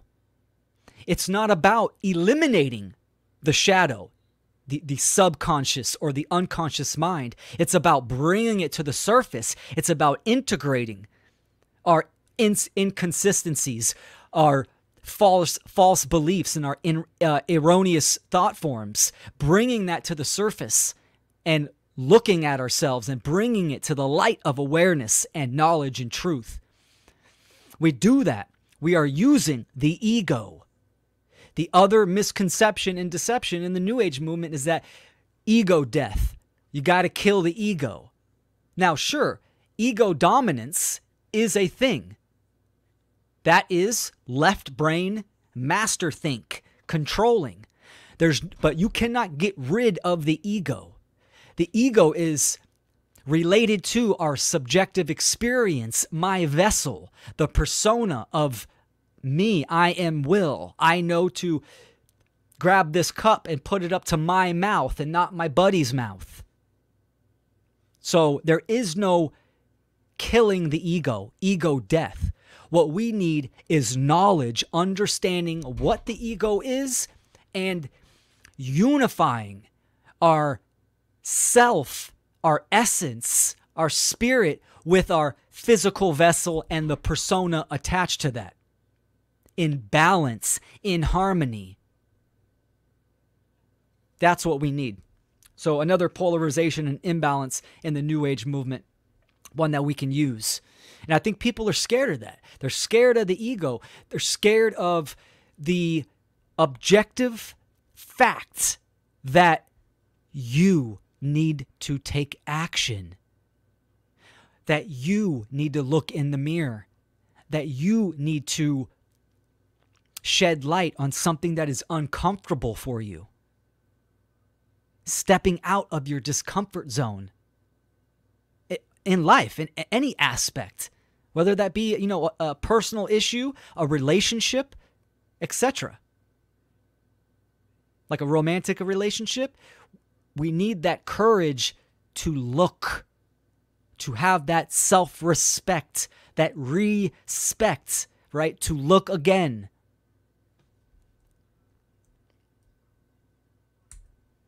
So, spiritual sidelining.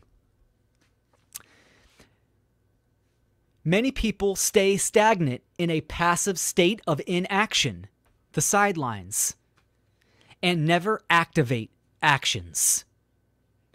Using false spirituality and as a justification or excuse, typically veiled under the guise of detachment of the material physical plane. Unlock your inner narcissist right? Discover the hidden power of self obsession using watered down Eastern philosophy and half baked New Age pseudo spirituality, right? Again, I've touched a lot on the, the, the passiveness of the spiritual community, rooted in ignorance. They do not have the correct information of what is going on. They don't have the correct information of what it means to be a spiritual human adult. Right? So they are in action. But s- staying on the sidelines, I also refer that to the people that do know this information.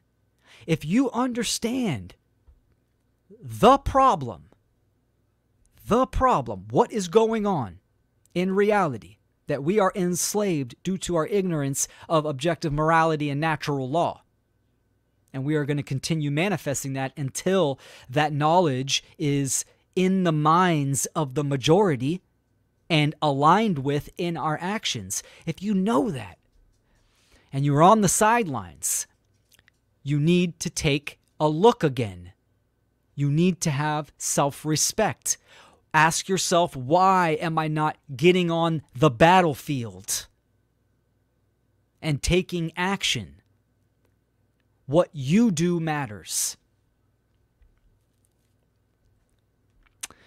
Another um, another deceptive new age thing that I've seen a lot of, it's really rampant, is this notion of uh, that I am God. You see a spiritual person say, Oh my gosh, I had the realization that I am God. I am the creator. Well, I'm here to tell you, you are not God. A notion of modern spirituality is the realization that you are the creator of the universe. This belief is rooted in solipsism and moral relativism. This is a deceptive belief taken from the fact that human beings do have the divine spark of life, which is spirit. So we are imbued with spirit. We have that. This belief, you are the creator in the flesh, is derived from Christianity's Jesus figure. The modern New Age movement is very much repackaged Christianity. New Age religion, same old mind control. So, let me explain this. Of course, we are endowed with spirit, with life, with the divine spark, because we are alive. That's the evidence right there. You are alive. The animated force is inside you. You can see in the natural world, everything in the natural world is alive, is endowed, in, imbued with spirit. But that does not make you the creator of all. What it does mean is that you are having an experience in an objective reality to learn how to lower entropy, learn how to work your way up the staircase back towards those higher levels of consciousness, maybe eventually to godlike consciousness or source consciousness. But this notion that you are God and that you're accessing multiple dimensions and you're not even living in the th- the 3D reality is complete utter bullshit. That is solipsism, moral, moral relativism, and an abdication of responsibility and what is actually going on in truth, in reality. It's not grounded in the here and now. That's the problem. It's not grounded. So, let me touch on the word God. Where does God come from? The etymology.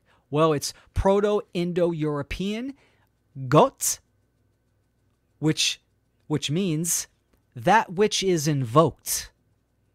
That's what the word, the etymology is.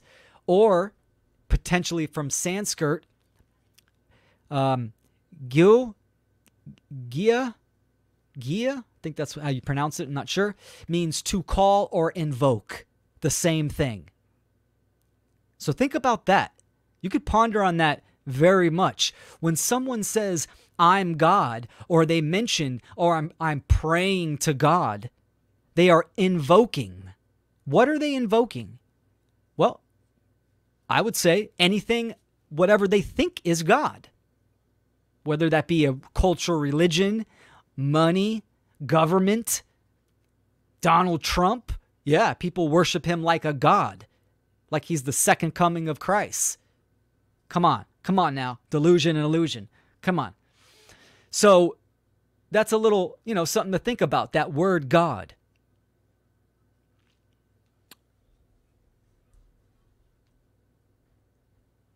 So, but what ultimately, when one thinks that they are God, it means that they don't have to take responsibility.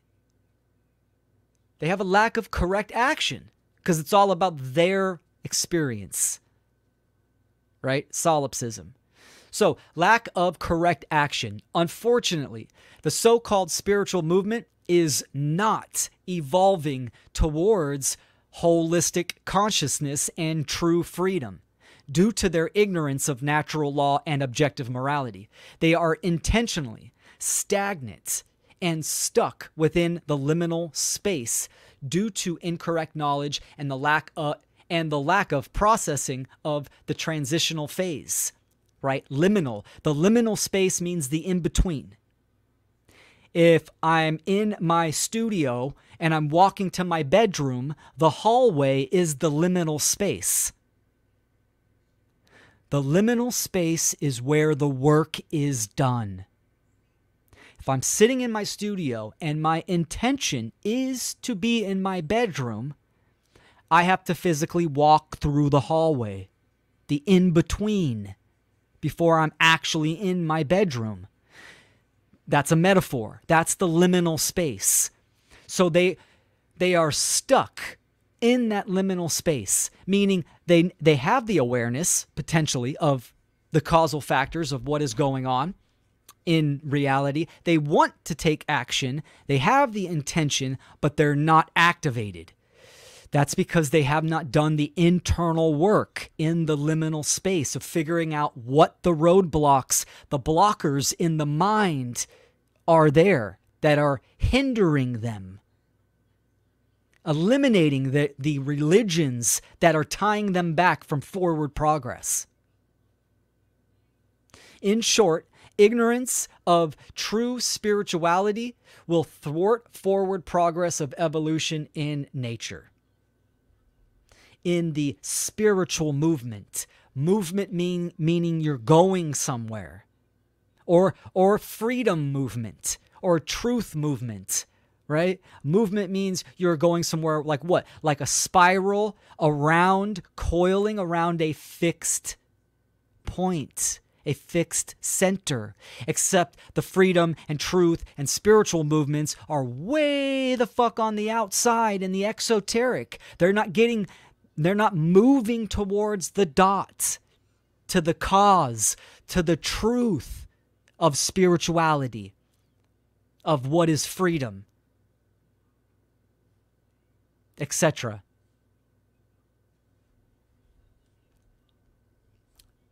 So, let me get this one ready. We need to realize, brothers and sisters, my relatives, it's a Native American saying.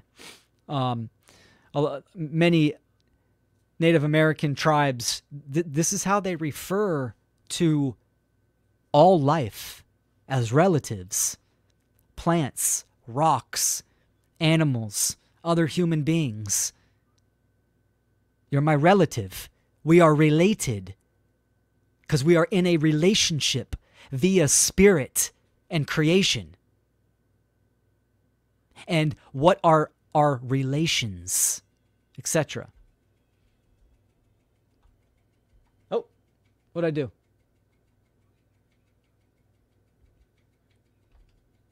Okay. One second. So this next slide, we're uh, we're getting, you know, we're on the home stretch. Got about 15 more slides. Mm. Just got to drink some water real quick.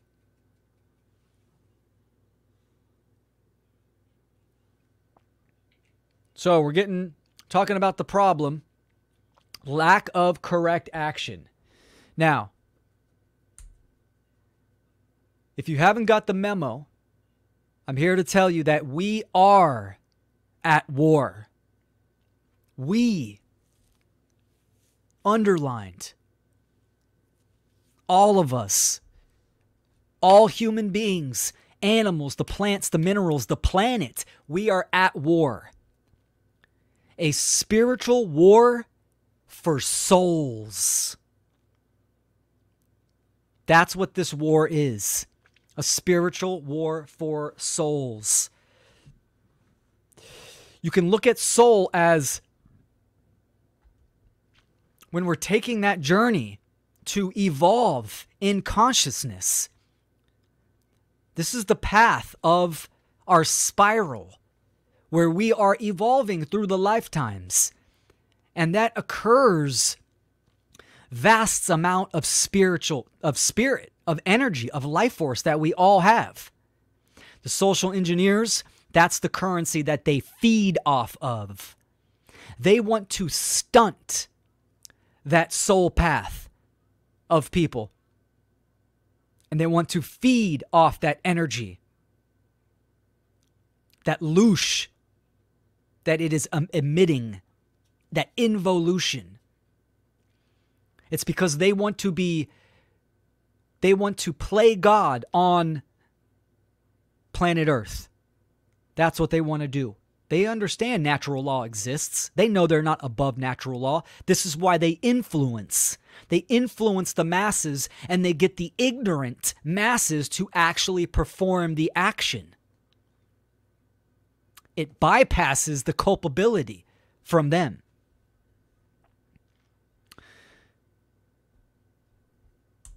So, the solution, the soul, solution soul, you, ion, right? This is talking about individuated. That's what the soul is the indivi- individuated unit of consciousness. You, me, everyone else. And then the ion, the energy that you are going to put from your soul. We need to understand, real quick, uh, understanding causes, right? The plane of effects and the plane of causality. So what we call the material plane, the physical realm. This is the plane of effects. This is the manifested reality which formed because of their causes. Now, there's no change in the manifested reality because it already manifested. It's here. The plane of causality is the why that underlies and precedes manifestation. The plane of causality is the metaphysical dimension, realm, mental, mind. Everything is mental. This is where it stems from. This is where it starts. Starts from the mind. Your, your mind instructs, the heart, the emotions direct, compass direct the energy, and your actions construct.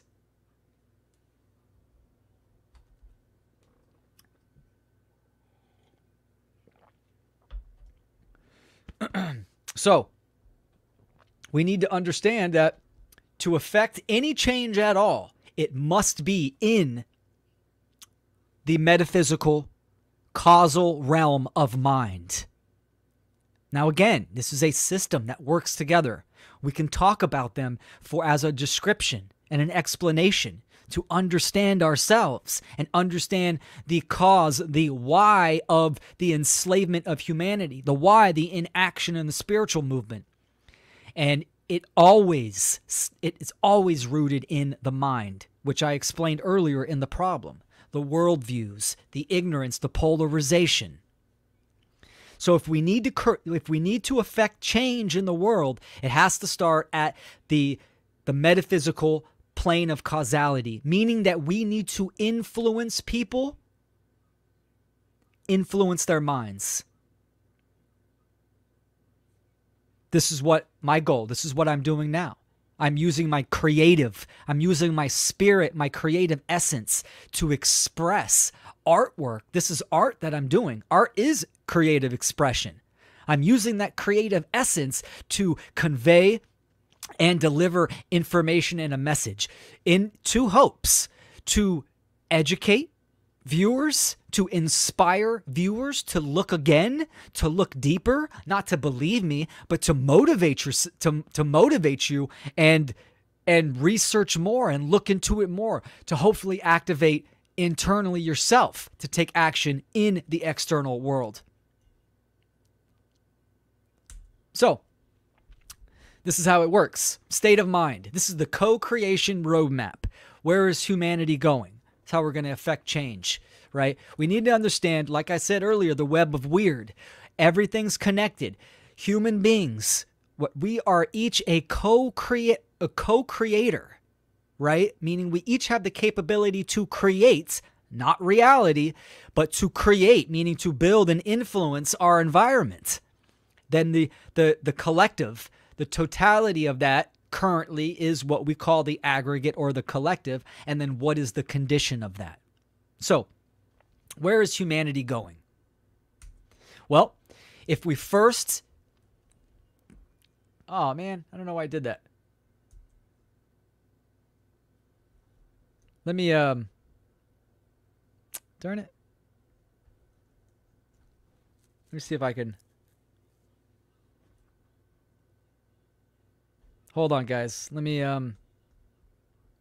Let me see if I can fix that real quick. Sorry about that. I had some. Let me see. Let me take out. Oh, sorry. I had some transitions that kind of bled over.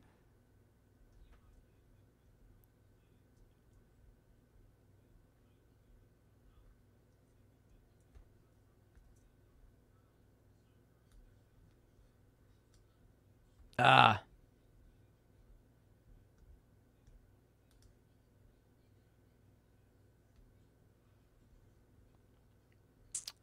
Darn it.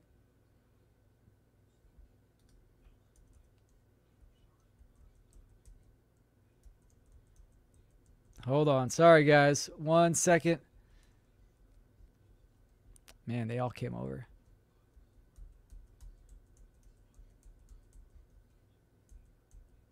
Come on. Take that off. All right.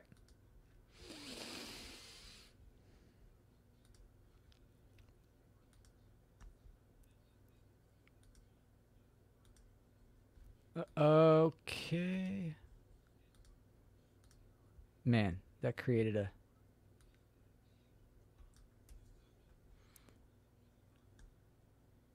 window capture.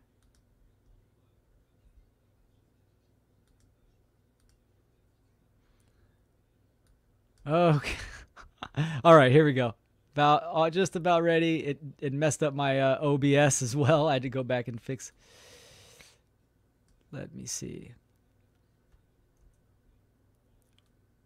Okay. Cool. I'm just going to have to There we go. So, co creation uh, roadmap. Now, if we start from that first principle of mind, right? The gener- the inner G, the inner chi. The G stands for even in Freemasonry, this the G stands for generative, generating, generation, genesis, etc. Many meanings, but that G stands for the generating principle, attribute. And if that is fear, which is ignorance, the absence of love, or the contracting aspect of consciousness, if you start from that, which all fear, right, is based in ignorance, the unknowing, fear of the unknown. Now, that fear is going to so funny. It's going to lead to cowardice and inaction, which will lead to obedience, conformity, or inaction, which is the emotion And then the action is going to get slavery, stagnation, involution, and chaos. All right, let, let me let me try to. So if we if we have fear in society, if we have ignorance, the absence of care and morality, and we are in discourse and duress, of course, that's the state of mind. The e- emotion is going to be obedience and conformity and inaction. And that's going to lead externally as um, slavery, stagnation, involution, and chaos and disorder. Now, if we have love,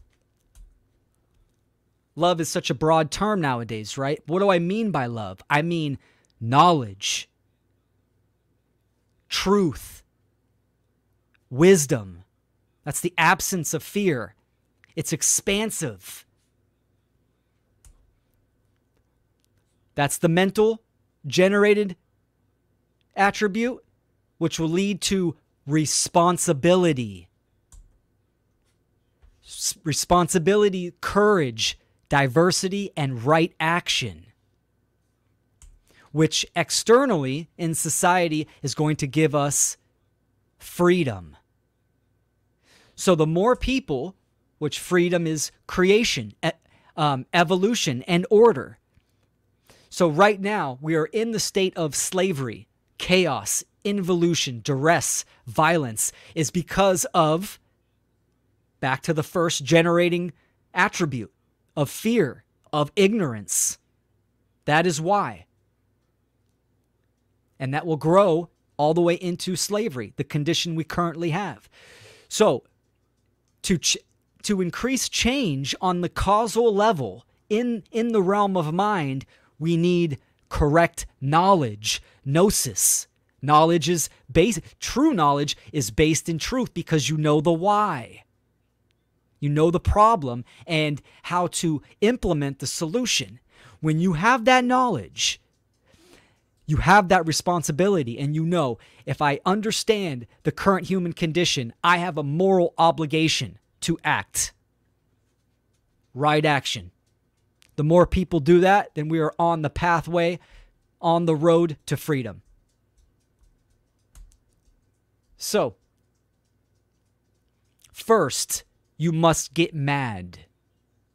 The emotion of anger is a vital and relevant force that can that can be a great activator and transmuted towards motivation to act when there are profound injustices occurring in reality. The new age deception of oh don't get angry. Never get angry at anything don't focus on the negative oh that person is angry cringe it makes you feel icky right that's bullshit because of this quote right here. St. Tom, Thomas Aquinas. He who is not angry when there is just cause, just cause for anger is immoral. Why? Because anger looks to the good of justice. And if you can live amid ju- injustice without anger, you are immoral as well as unjust. I am not talking about petty anger. Oh, this per- this person cut me off or whatever. I'm talking about righteous anger. Children are being violated. Humanity is being violated. The enslavement of the species and the planet. The ignorance of how to truly act in the world. The ignorance to morality and natural law and what true freedom is. That should piss you off it should make you mad. Now, of course, anger is the element of fire, and fire can be honed. And you can utilize that and transmute it as a motivational force, but it still has to be transmuted. You still need to act, harness, and then act.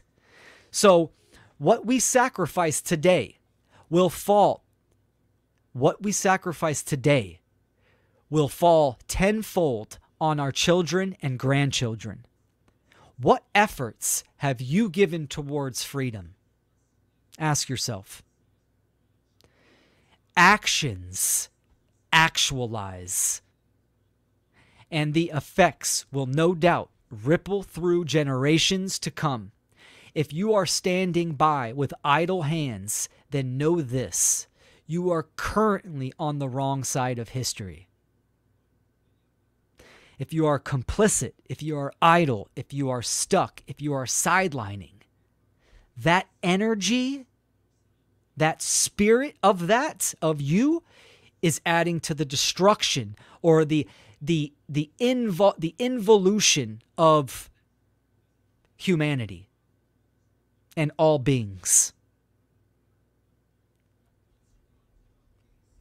It is supporting the parasitical condition of the world versus symbiosis. Actions actual actualize, right? In reality, our actions perform the energy that construct what is happening. Cause and effect. Cause, the mind, the state of mind, and then we perform the actions, which creates a cause and effect as well. If we act in the world, if it's immoral, that's a violation. That's adding to the condition of slavery. If we act morally, then we are in alignment with creation.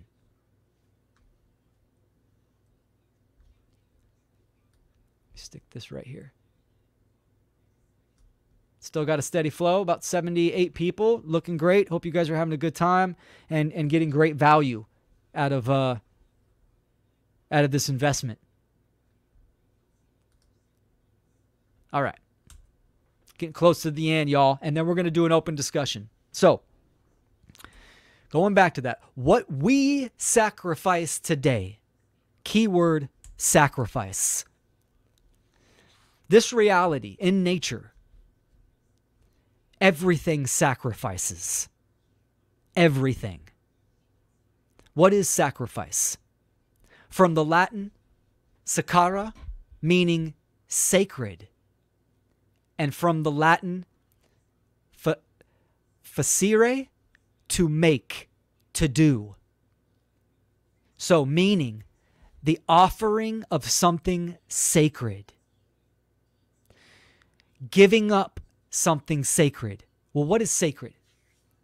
I would say for the individual, your energy, your spirit is sacred, is of creation, is sacred.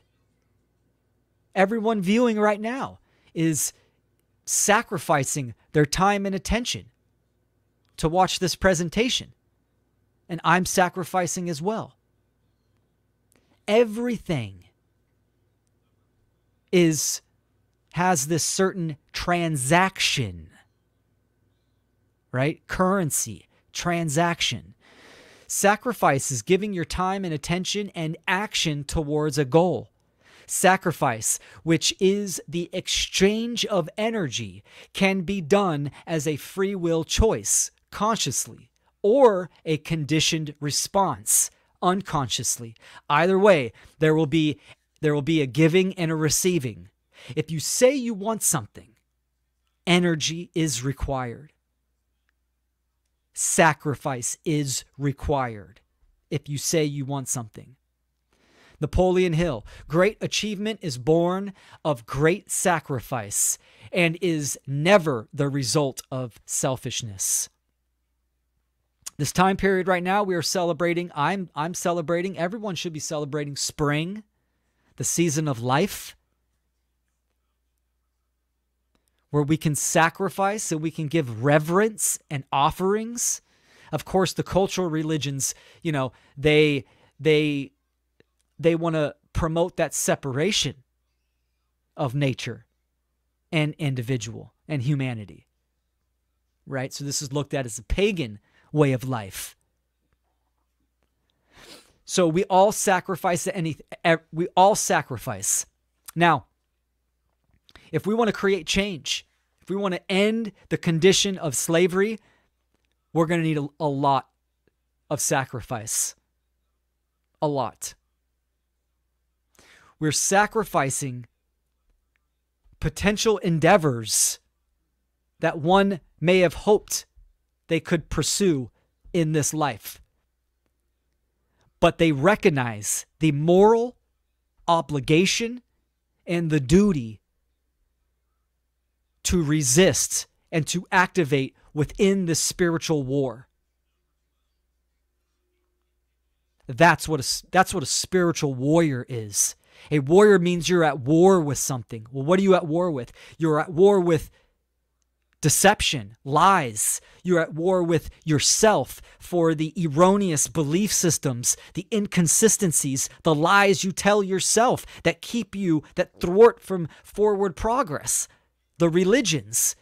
You're at war with the social engineers for the people that are ignorant and that are causing harm.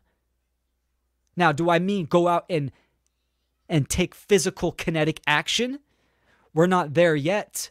That time will come. Right now, we have the opportunity to use the digital platform to influence minds, to affect change in other ways before we get to that stage. So, sacrifice, we need to make the conscience free will choice right? Not the conditioned response. People think of energy vampires. Energy vampires, what people are, are unconscious of, they are unconscious to the cause of an energy vampire. They are unconscious to the cause of their own sacrifice. They are giving their energy to something and they're unknowing.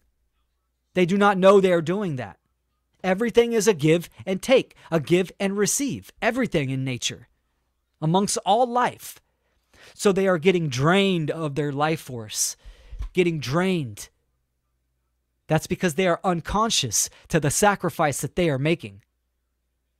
So we need education of causal factors, and we need to activate our free will. Learn the ways of universal law of cause and effect. As we break the law, so do we lose our freedom. Recognize your free will. Realize your free will. Know your free will. Use your free will in harmony with universal will and be free. This is an ancient Hermetic quote. This is about we are endowed with willpower free will, which is the active force of spirit that allows us to choose our decisions. And we need to choose to fight this war. So I'm going to use an analogy the acorn and the oak. An acorn and the oak tree are genetically identical but you cannot get lumber from an acorn. Why? That's the question, right? An acorn and an oak tree, an oak tree are genetically identical, but you cannot get lumber from an acorn. Why? That's the question. This is very relevant to free will and activation. I'm doing this as an allegory, an observation in nature. So, the acorn excuse me, the acorn and the oak tree. The acorn itself is pure potentiality. Potentiality is when something contains the ingredients to become something else. Meaning, humanity has all the ingredients inside spirit, higher order thought function, consciousness, all the ingredients to evolve, to become something else, to activate. What, what is that process that activates the acorn into the oak tree? The oak tree is actuality.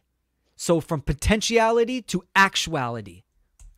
Actuality is when an object fulfills its potential and becomes something else. So, what is for an individual to activate and to step on that battlefield to help influence change and create change? It needs to fulfill its potential.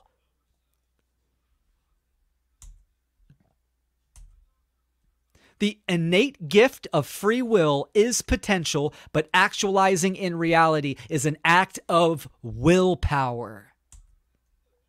Thoughts, emotion lead to action. That's the order. Potentiality is thoughts and emotions, the internal aspect just like the acorn with all its ingredients inside, internally, in its seed. And then, under the right conditions, once it fills its potential, boom, the spirit activates and the will of that acorn and creation ignites and sets roots. Same thing with a human being. Aligning our thoughts and emotions with truth and natural law and morality. So as I think, potentiality is something, yep. So as I think, so I feel, and so I act, which leads to actuality. Actuality is when an object fulfills its potential and becomes something else. S- something what? An activated human being aligning their thoughts, emotions, and actions to natural law, and they're fighting within this war because they have the correct diagnosis, the correct knowledge of what is actually going on. And then they are acting on it from their care. So the thought is the knowledge, the awareness, the, the information, the, the correct knowledge. The emotion is the care and the action is actually constructing and performing in the world, sitting at the computer, writing presentations for educational purposes, out in the world doing that. That free will and activation. A lot of people are stuck, like I said earlier, in the liminal space, in the middle. They're stuck there and they don't know why. That's because they have not fulfilled their potentiality. They have not activated. And mo- and 9 out of 10 times it's going to be in in the thought. In the thought. It's always going to start in the thought, but there can be emotional hangups as well, em- emotional heart control as well. But it's your job to figure that out, your responsibility. So, preformed energy, karma, we're getting close to the end, y'all. We can't, you know, we're talking about spirituality. We gotta we gotta touch on karma. We already have. It's called natural law. But the word karma etymologically derives from Sanskrit and it means action. That's exactly what the etymology, the definition of the word, it means action. It refers to the law of cause and effect, stating that every action has consequences. Positive actions lead to positive outcomes, while negative actions lead to negative outcomes. Karma also implies that these consequences may not only affect the current life, but also the collective of the spiritual domain. It emphasizes personal responsibility and accountability in life. Karma is energy, performed energy, but it builds up. It's not instant. Oh, I stole a wallet. I walk outside. Five minutes later, I get hit by a car. That's not karma. In certain cases, that could work. It depends. There's a lot of factors on what it is, the in, the environmental influences, who you're doing it to, etc. But karma itself, action, act, ion, performed energy is energy building up in a flow, in a rhythm.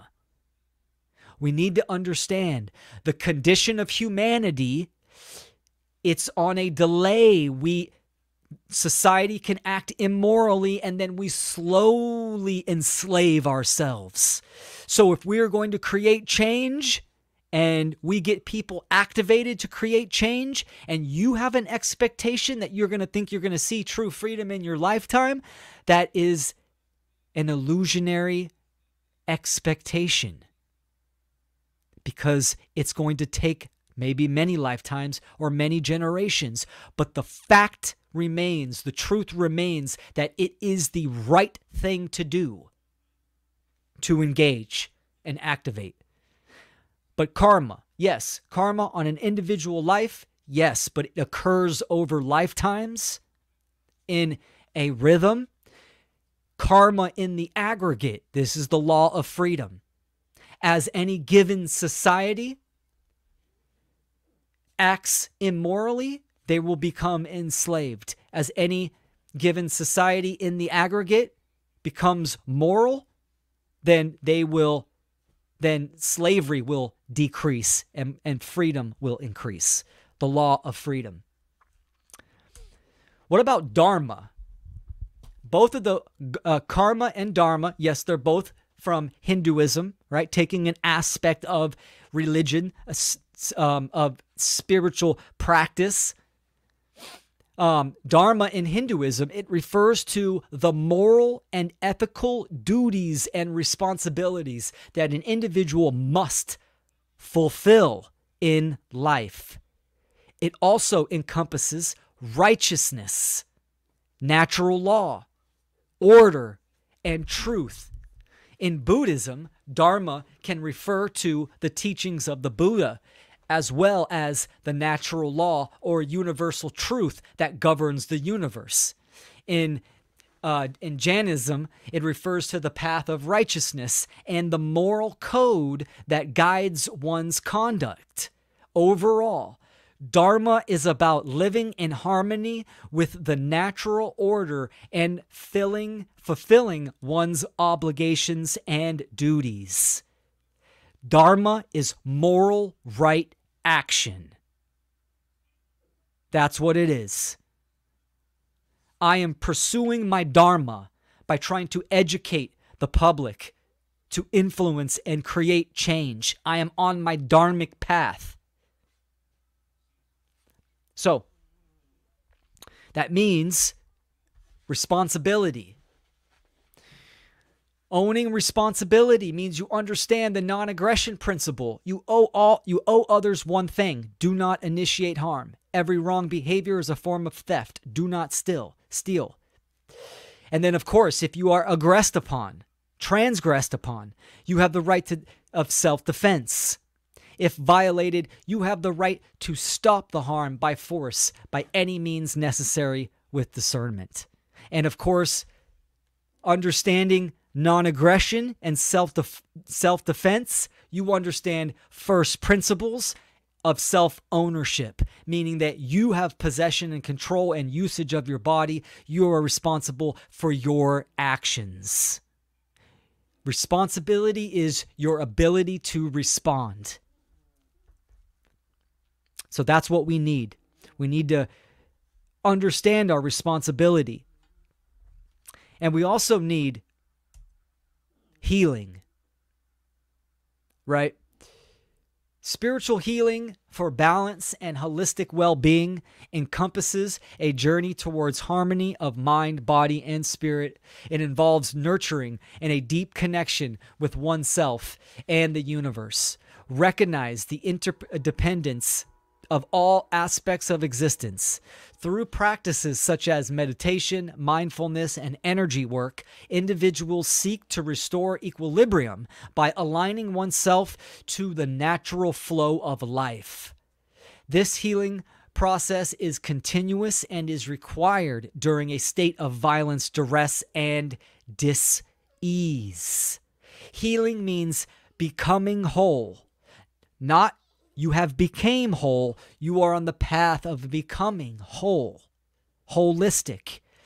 In a state of slavery where for thousands of years of generational mind control, we have all had trauma. We have all had mind control instilled, programming and conditioning instilled. It is part of the healing journey to heal ourselves from these erroneous traumatic experiences, but understanding that our responsibility for ourselves as adults, as spiritual adults, we need to have that awareness that as we progress in this war and in this battle, healing will be continual. So take care of yourself, care for yourself. Be, be wise where you invest your spiritual currency. The divine connection.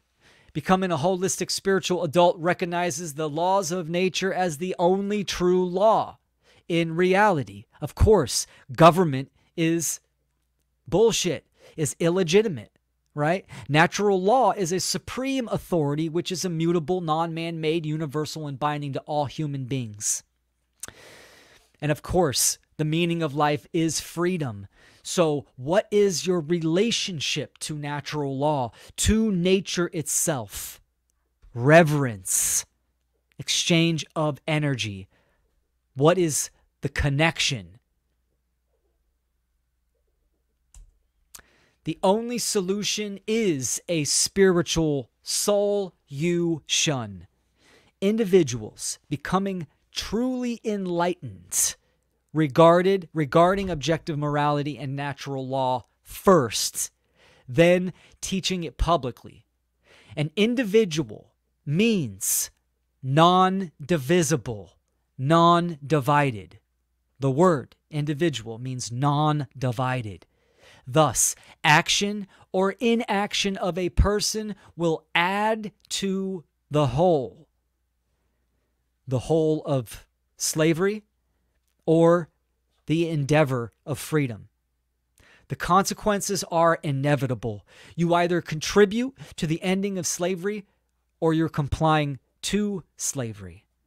The choice, as always, is yours. the real twin flames, the true will and true care. Again, ask yourself, what do you truly care about? Care is the generative principle, the generating life force, your energy that is driving the driving force behind your actions. When the mind and heart are in alignment and not in contradiction, this is unity consciousness. I touched on this in my last presentation. The true will and the true care. As I think, so I feel, and so I act in harmony with nature, fixed on that point, that fixed center of truth. My relatives, you are a living mystery school. It is time to begin the process of dismantling and distilling the false ideologies that, that are immoral and in opposition to nature and truth. The first step is being brutally honest with yourself on all levels. This is a stepwise progression, of course, of course correction. Just as there are no right angles in nature, there are no sudden curves or fixes in this journey of self discovery. The spiral ritual is a path of willpower, courage, integrity, care, justice, and what you do on a day to day basis will determine the whole, the condition. Embrace psychological death of oneself. Like the phoenix rising from its ashes, you too must rise from the stagnant beliefs and awaken to your true self. This process is continuous and change is continual, and the consequences for all choices are inevitable. This is your responsibility to begin the spiritual journey. If you know, you know. If you care, you do. And if you don't, you'll be sacrificed. From the social engineers, they will take advantage of you, suck your life force energy out. So, my friends, my relatives, my spiritual relatives, that was part one of my presentation. Part two, I'm going to dive into a, another category of animism and what that means and the true and accurate perception of what animism is related to the natural world.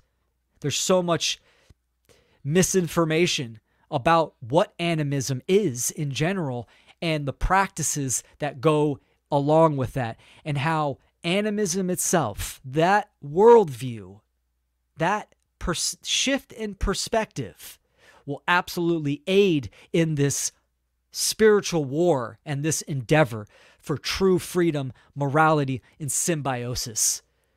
So, again, my name is Will Keller. I hope you enjoyed this presentation. I hope you found value. Uh, it was a, a long one, I know, but uh, now let's uh, let's get to let's go ahead and get to the open discussion. Again, thank you so much for your time and attention. Let me put the uh, the link There we go. Let me get the uh, the link in the chat.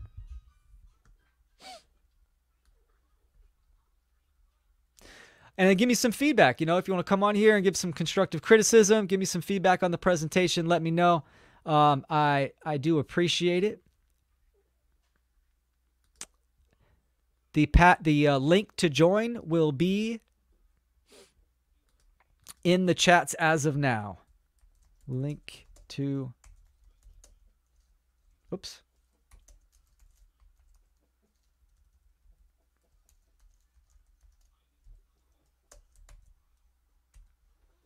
You can join audio, just audio, or video. It's it's up to you. And um, give me one second. Um, I'm gonna use the restroom. I'm gonna take a week a wiki leak. It'll take me just one minute. I will play fantastic musician, Joe Murray.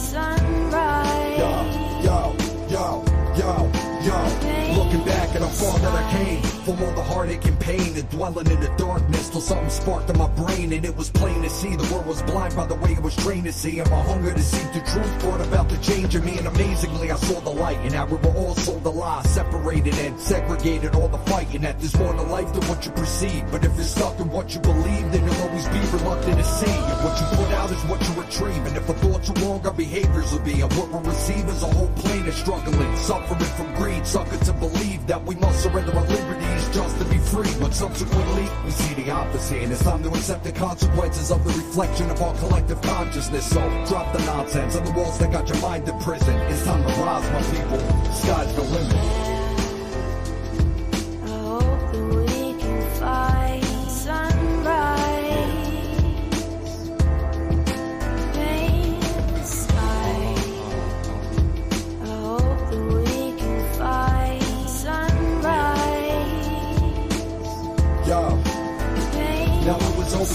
Sense to me that this wasn't the way shit was meant to be. My whole life, all I wanted was for the rest to see. Our destiny's not to land exceptional 9 to 5. Strive to consume happiness, you'll eventually die. Trying to buy, divided by the fault lines of race and religion, which makes us in prison in this matrix, slaves to the system. It's time to make a decision. We're at a fork in the road. How much more can we go? No more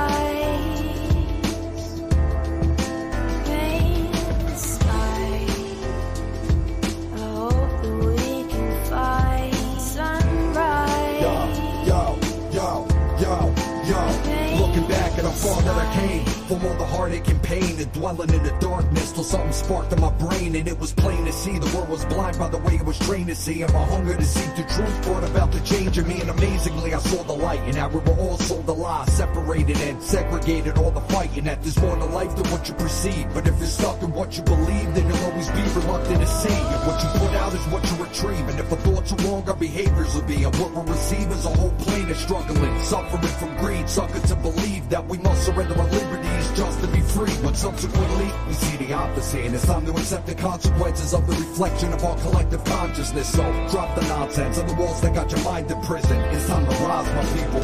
Sky's the limit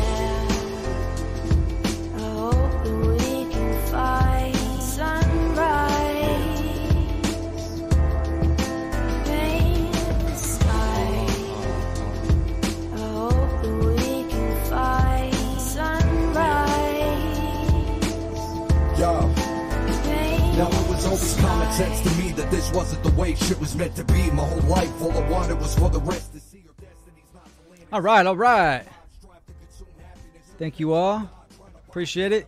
We got my uh, my brother Logan. Let's go ahead and bring him on in here. Get a little discussion going. Add to the stage. Oh, there we go. Yeah, buddy. What's, What's up, up, brother? Hey, how you doing, man? I'm doing well. Yeah. What a what another masterpiece you just put together there, man. Ah, thanks, brother. That means a lot, man. For coming from you, that that means a lot. It was a long one. Yes, it was. Um, and and that was like, I had the other half of that, which it was going to be its own presentation as well, but um, I had to take, you know, split it up. This presentation had to been split up because it just got so massive. I guess that's what happens when you give yourself a little more time to work on something. I mean, It grows. this is the topic, you know. It's it's going to be hard to fit it all into one session. Yeah, you know, and I So think much it- to unpack there. something that that I could I could say that I, I should have said it on the outro of it. You know, remember I I'm I focus I wanted to focus on the meaning and purpose, getting mm. to that bullseye. What does it mean to aim for that bullseye? Of course, when we talk about spiritual practices, I mean, and there's many pathways up the mountain, but the mountain is still there, right? So that that's important. What what you know daily practices breath work energy work meditation contemplation concentration right there's so much emphasis on actual meditation when people don't even know that all that means is bring to the middle bring to the center. I think meditation has been actually used for deception because hmm. there's a lot of people that don't need meditation. You don't need to what they call quiet the mind. You need to engage the mind. You need concentration and focus and contemplation. That's what hmm. that's what introspection is. It's to engage the mind to fire it up because so many people are passive on it. So Yeah. your thoughts on that Yeah, I love it, man. There's yeah, already so many so many different directions. Um, but but on the meditation aspect, there are two kinds of meditation that that a lot of people are not aware of. They think of like, oh, empty your mind. You know, it's the very like Yoda kind of esque version of that. But there is inter interoceptive and exteroceptive Mm, meditations. Uh, Andrew Huberman talks about this is where is the focus going? And that is going to determine where is your natural focus and then where do you need to counterbalance that? And um, yes, the, the typical thought of meditation is very much the interoceptive, just empty yourself, uh, think nothing, do nothing, um, you know, which is uh, kind of the more feminine modality.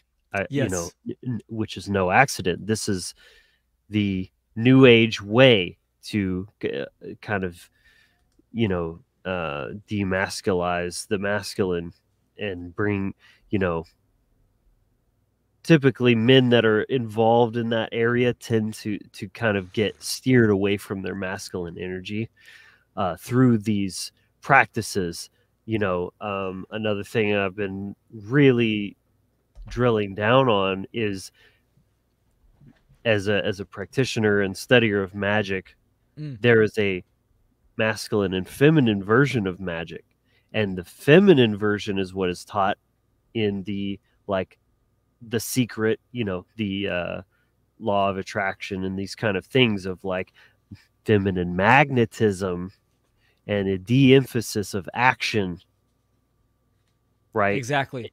both are valid but it depends on who you are and where your power is as an individual and that's important to to know thyself and to you know show up as you Dude, yeah, 100%. And that's where the polarization comes in cuz when you're polarized, you're you're you're obviously that has an effect. That has that has a huge effect. I like what you talked about the the book The Secret by Rhonda Burns, right? I I got into that that documentary and all the books and stuff like that. Uh, but it was very it's very much just focused on magnetism. It's like a sliver of natural law and how tr- the real law of attraction actually works. And and yes, missing the active the will the willpower that's in there the action that must be uh, performed. So there's no you know there's no reason why they want men to be in their opposite polarization right? Because i mean when you're at war the first thing you have to do is declaw de, de uh, you know neuter and defang d-ball and D-ball the men because the men protectors the active um, you know kinetic acting um, and constructing in the world so of course i mean there's no there's a, there's a rhyme and a reason to what they're doing it's very much related to energy uh, and polarization Yeah. And uh I wanted to touch on something too, whether you intended this or not, but I dropped in the comments when you first started. The meaning and purpose is the masculine and feminine aspects of spirituality. exactly The the meaning is the intrinsic essence, which is the feminine, the beingness, and the purpose is the application through action exactly is dude. the masculine. That's beautiful. yep you you you just did an excerpt from part two presentation Uh, it's perfect sorry sorry No, to no. Give, give it away, man. Oh no, dude, dude, that's the thing. This, like what you what you just mentioned, and what I said that I'm going to mention, other people know.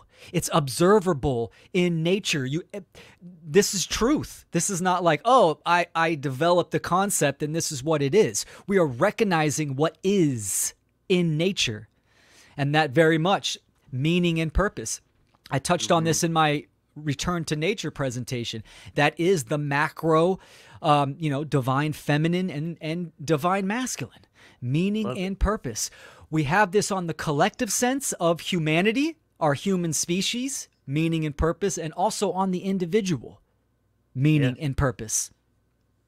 Yeah, it makes me think of the concept of the tool, which is to me one of the most spiritual concepts that there is. A, tool is something that, you know, uh, brings it, it's a it's a magical device. It brings about a certain outcome that can be utilized by an a, con- a conscious user, you know, and um, a tool has a meaning and a purpose. Absolutely. same same kind of thing. There's what it is and then what it's used for.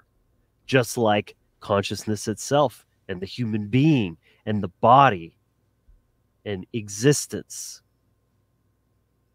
100%, dude. these are all tools i think it the, the concept of the tool is so underrated i don't hear people talking about this a lot but to me it's so central to understanding just the do you- dynamics of everything This is what the human, this is what the the body, the vessel is. Mm. it's a tool for us to to experience learn and grow right consciousness we're using this vessel um and all all other things. I mean, this is the problem even with modern spirituality in the new age, right? They want to be they they don't they think that technology like computer tech and this kind of stuff isn't part of the solution, right? They want to move away from that.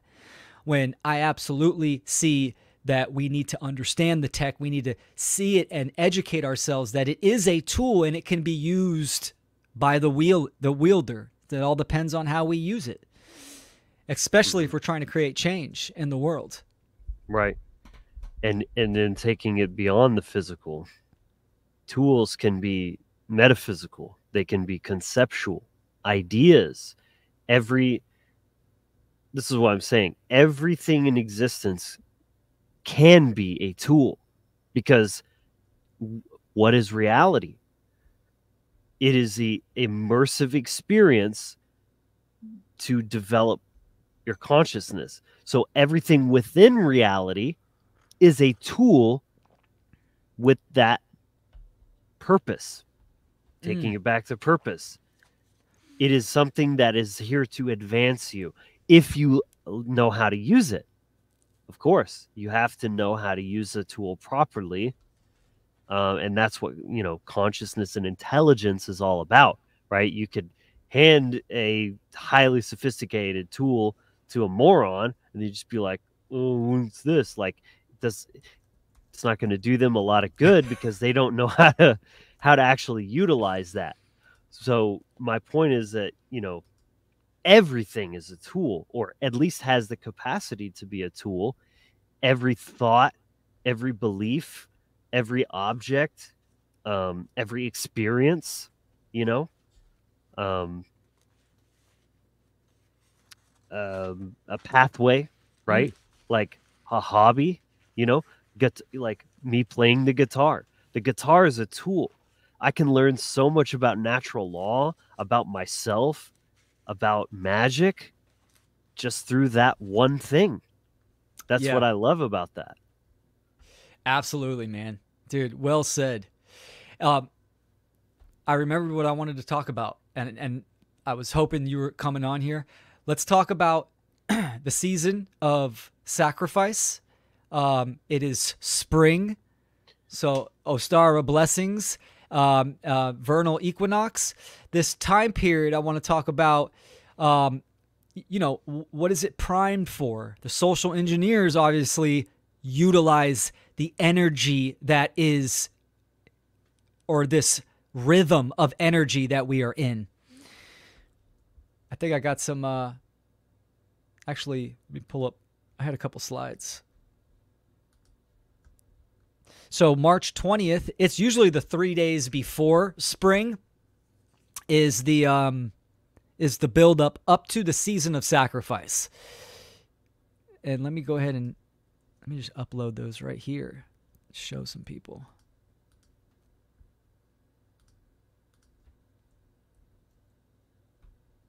So what it, what is the the season of sacrifice?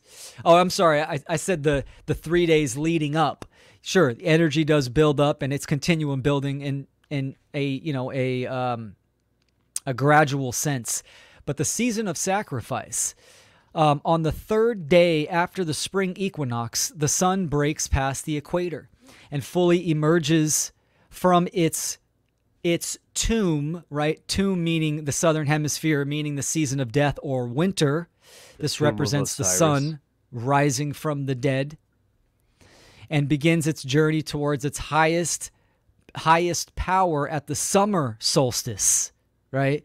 So in let me go ahead and in uh, in sun worshiping traditions, there were sacrifices in the ancients, animal sacrifices. It's the spilling of blood, right? They would put this in their crops when they were planting, um, when they were planting, sowing the fields. This is what they did. Why'd they do that? And I'm not saying that's right, but I'm just telling you what happened. And we're going to dive more into it. It happens because the energy is in the blood. The life force is seen in the blood. The water, if you've seen my water presentation, people, the water is in the blood. So this is what they would do. It was an offering, offering a sacrifice, a giving of something sacred, like blood. Now, of course, there's many ways to give energy off than sacrificing an animal or your own blood or whatever may be. The social engineers, they still believe in this this old religion of of bloodletting.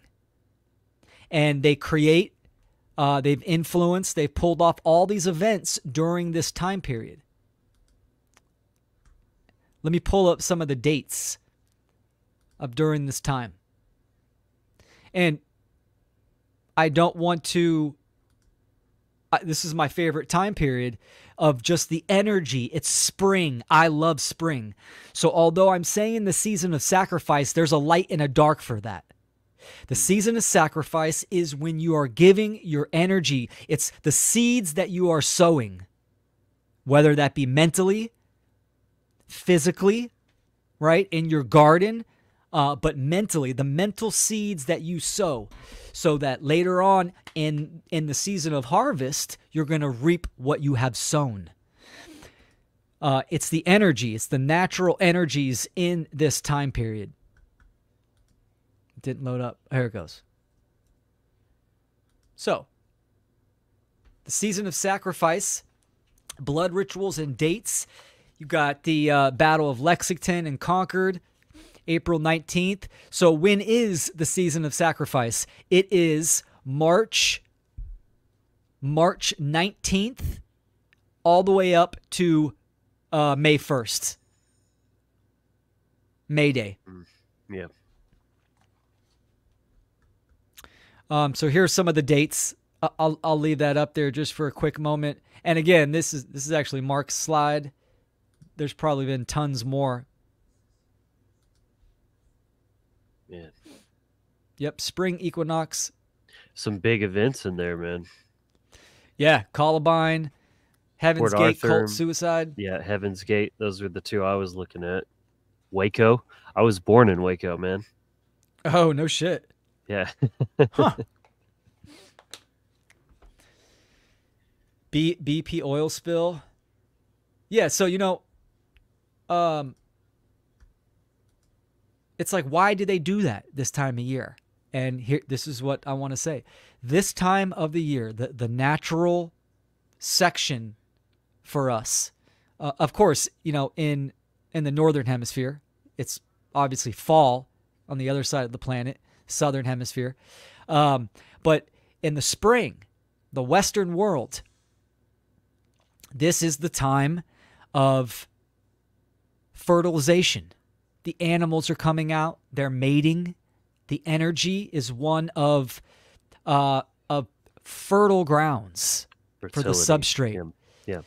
Our consciousness is actually coming out of winter in, in into new beginnings, into life. It's activating, it's coming online they do these inverted dates or these inverted uh, you know blood rituals psyops false flags during this time at to disrupt to cause trauma on the human beings on the natural rhythm of life to create Fertile. a disassociation Fertile mind that's right for for the mind control, the trauma based mind control.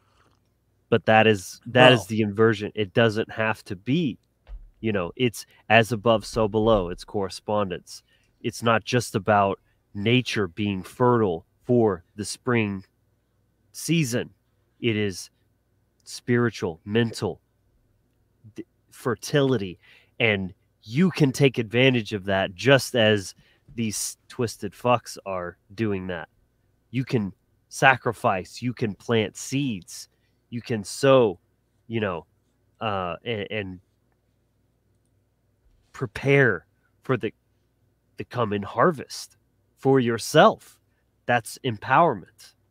exactly dude. You nailed it. I love it. I love how you said fertile for the mind right? It's like Yes. it it it's it's stepping into the slipstream of of nature of consciousness right? On the on the, the planetary um um celestial being the energy that flows. I call it the rhythm of life. It's like you wouldn't want to wait and then all of a sudden start to plant corn, you know, at the end of the year. You're like, oh shit, you missed out on the time period when it was most fertile to plant. So there's a rhyme and a reason in the nat- external natural world that world that we can observe and see, and that influence that influences us internally, mental, emotional as well. So yeah, you nailed it. I love it. And you know, in my presentation, I was speaking of the, the, the principle of inversion and obfuscation. This is the same thing, right? It's fertile for mind control.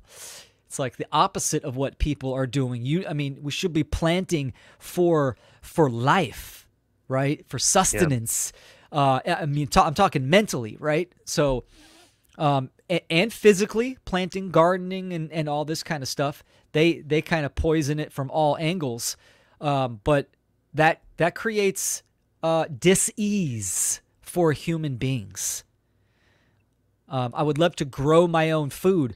It's hard when the soil is so uh, alkaline and the metals or you know the foods are poison and this kind of shit. So there's these direct attacks that they are doing, and you know we have to do what humans can do, and that's adapt and pivot and create.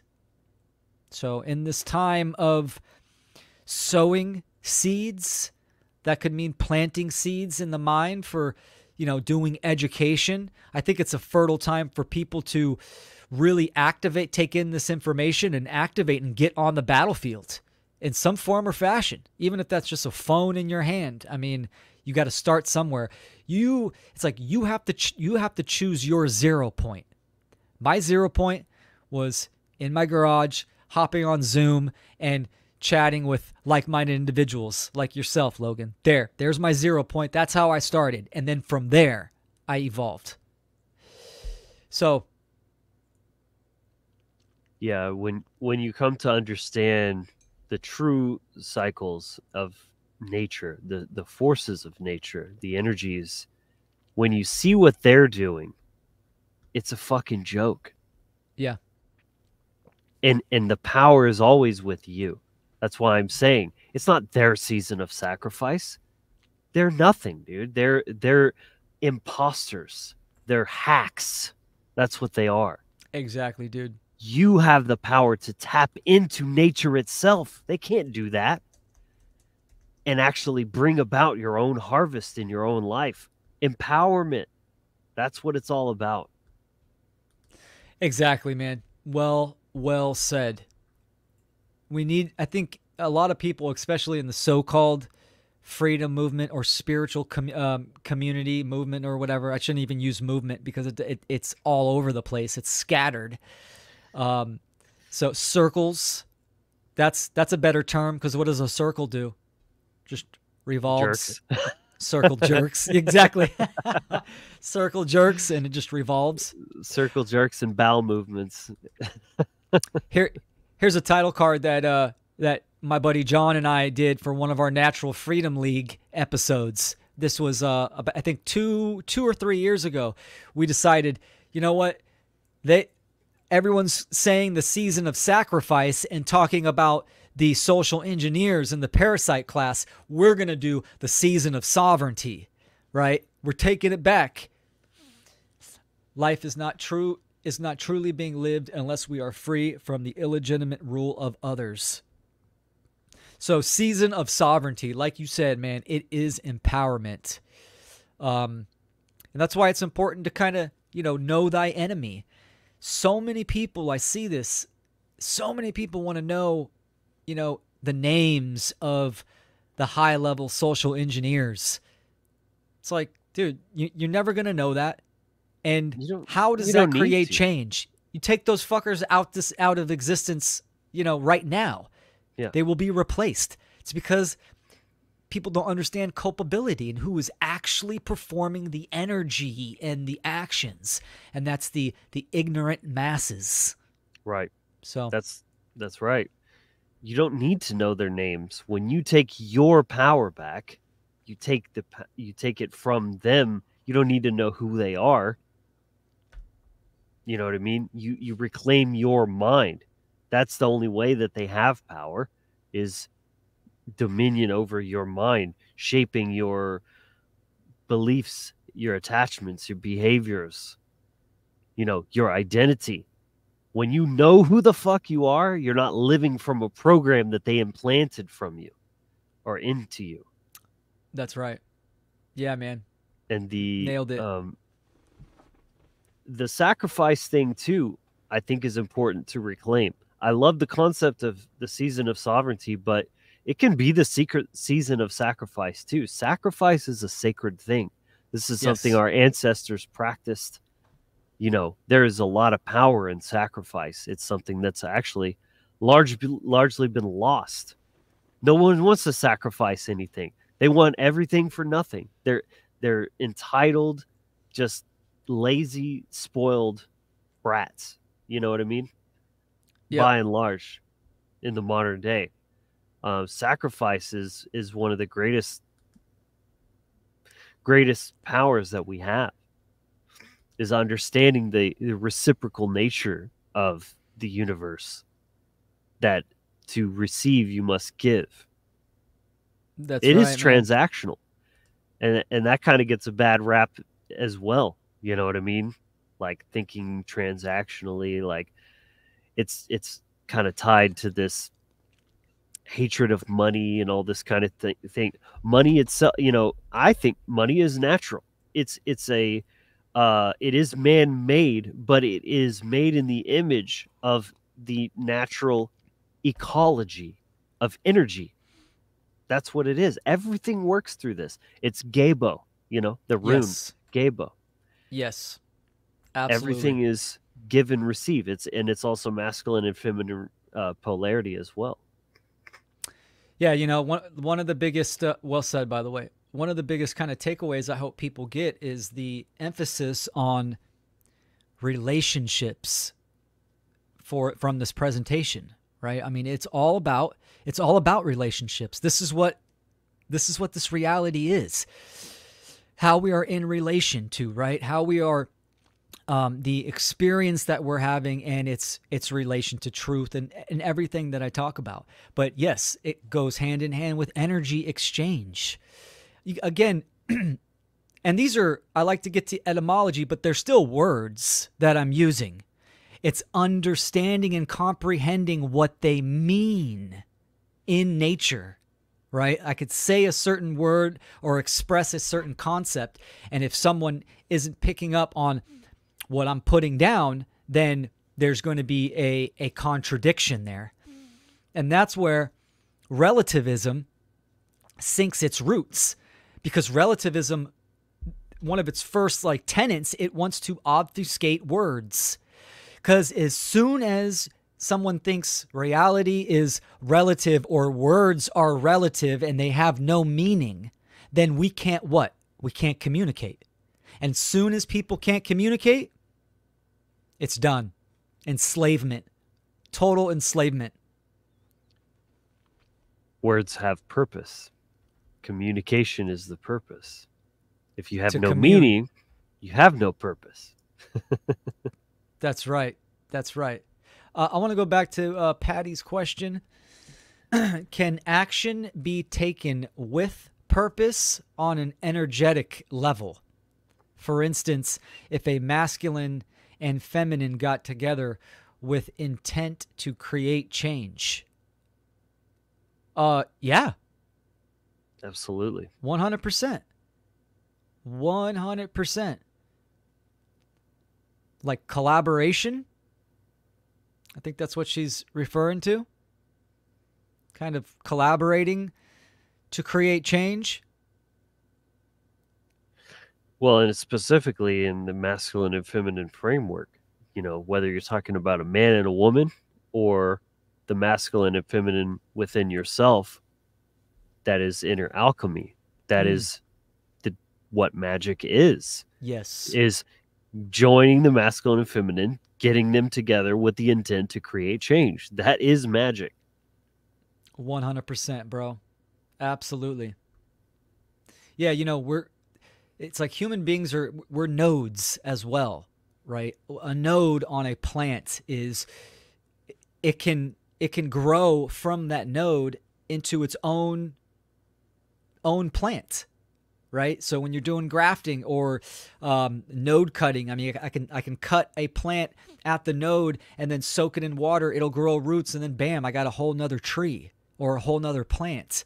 This is what we the, the people that are doing the one great work and taking action in the world we are nodes. Every human being is a potential node.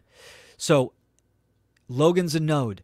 He expanding and growing that message and trying to reach other people to inspire other nodes. So what do we do? It's really or you can look at it from the actual the the image of the web of wyrd. It's the connecting points of the threads.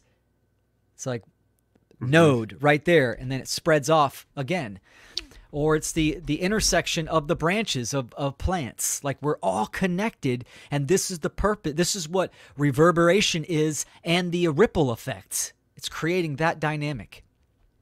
What it makes me think of is the blockchain, which is another great example. iter- another iteration of natural law.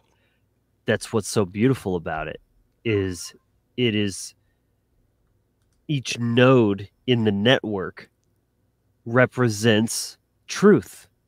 Just like I, I am capable of understanding truth, Will is capable of understanding truth. We're interconnected. We're carrying truth inside of us, but we're having a conversation right now, just like the blockchain. All the nodes of the network are communicating with each other, saying, "Here's here's my truth. What's your truth?" And do they align? And it's and usually it- that truth is distributed across the network. That's how it works. And when one is not in alignment, the other ones that have truth, the truth of the ledger, the, the list of transactions on the blockchain, say, well, that's not truth. That's bullshit. we reject that. You know what I mean? yeah That's that's how we ought to be operating. Actually, dude it's I pretty love it. profound. it no that it is profound and simplistic as well. Like, i mean it makes it makes perfect sense that that's a uh, that that's a system that can be utilized. See what if we got another few comments? Uh let's see. Let me take a sip of my lion's mane man. Long presentation. I'm uh running on fumes. Probably gonna we'll probably go for another 15 20 minutes and wrap it up. If we anybody have questions go ahead and put them in the chat right now if you don't mind. Uh, there's uh, looks like a couple hundred comments. Um Patty said in response to uh, what our comment on her excellent. earlier comment, you know, was uh, she says, "Yeah, there you go." Yeah Talking yeah, about two of. people, but It's talking about two people and i get what you mean yeah yeah, I was kind of corroborating the inner and, and outer, which is always at play. The the correspondence there, it definitely applies to both. Um, that is the power of the union between man and woman. This is why there's such a strong war against this. There's such disruption of polarity and healthy relationship dynamics between men and women. It is the single greatest divide in the human collective for a reason. Yes, exactly. For a really good reason. That polarization, you just take out, you know, you you influence it's 50% of the population. Um, and then that, you know, with a, a dialectic, the other the other 50 is going to respond in some form or fashion. So it it's affecting 100%. 100%. Um Patty talked about the uh, April 8th, 8th solar eclipse. You know, um, yeah, this is right during the the season of sacrifice. Interesting enough. So, you know, be vigilant, be aware of your surroundings.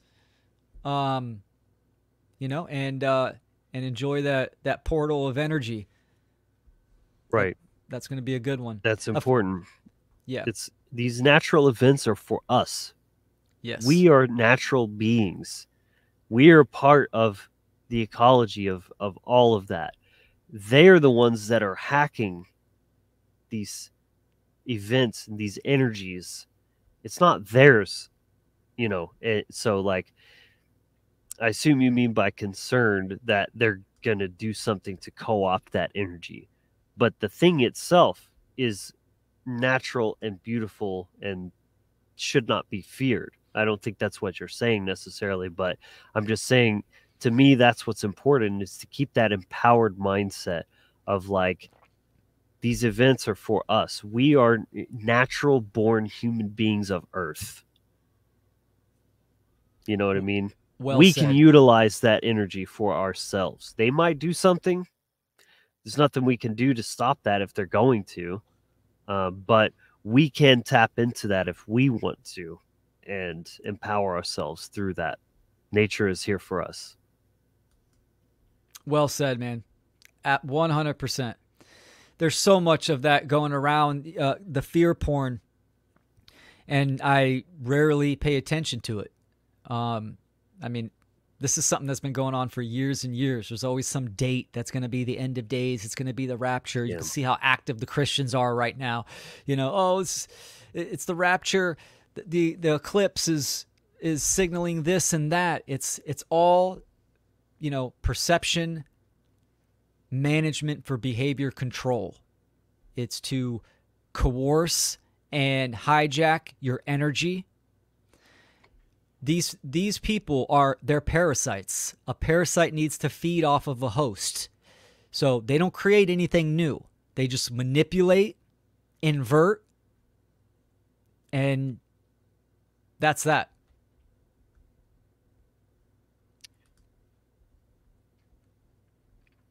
I think Hyperlink has some questions he, he would like addressed.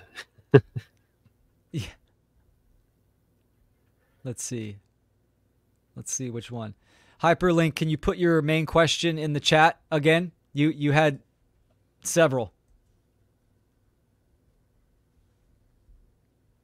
I already know where these questions are going. Yeah.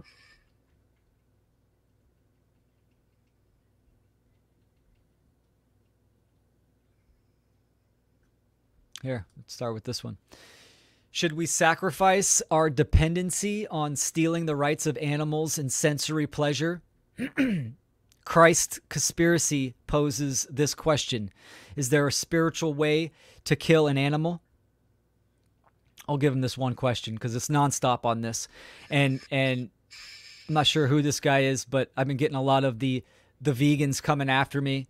Um, and I stand my ground on it. I mean, I I am a vegetarian of five years, um, and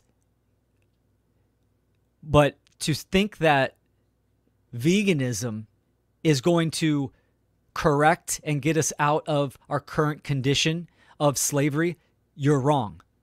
It's that's not the pathway. Sure, you could talk about morality, you could talk about rights, etc., etc., but focusing on the belief in human authority, i.e., government, is the first step. Is the first step. Sure, if someone can do that, if someone's on their spiritual path and they can incorporate that in their diet, less harm, I'm all good with that. I agree with that. That's dope.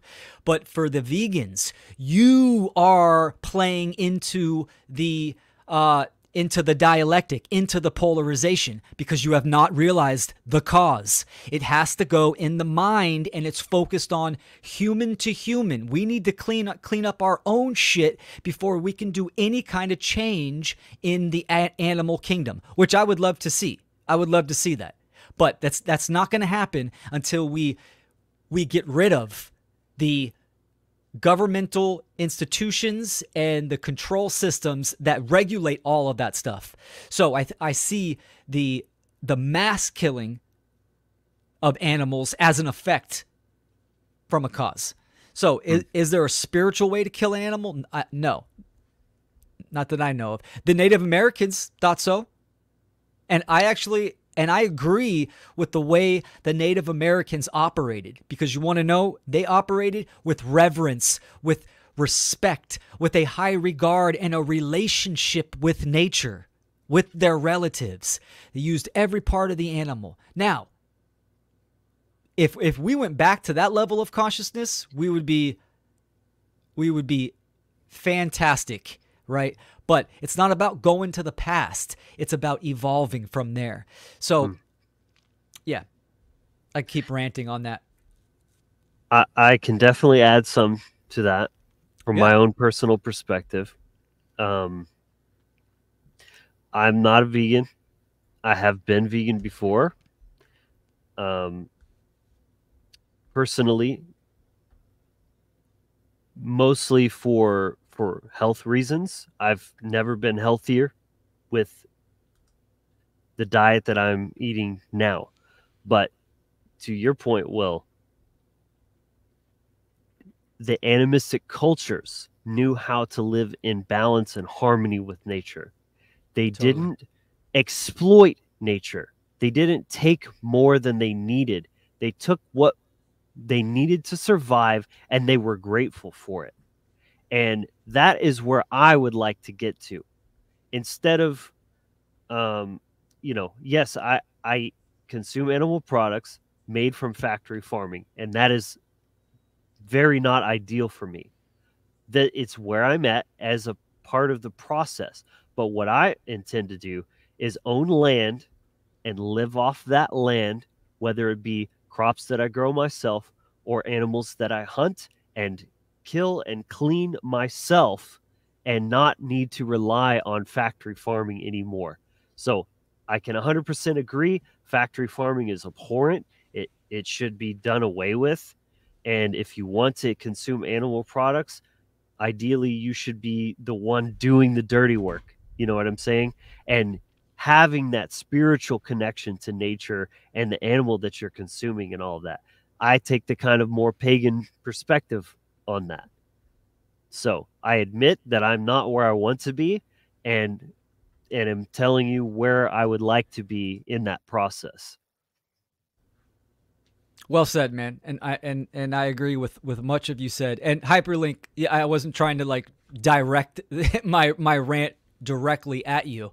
Um, I it was more about just th- that topic Yeah. because I, Logan, I do agree with you. Like there are certain steps that in the collective of humanity that we need to go through before we can we, we can have a certain level.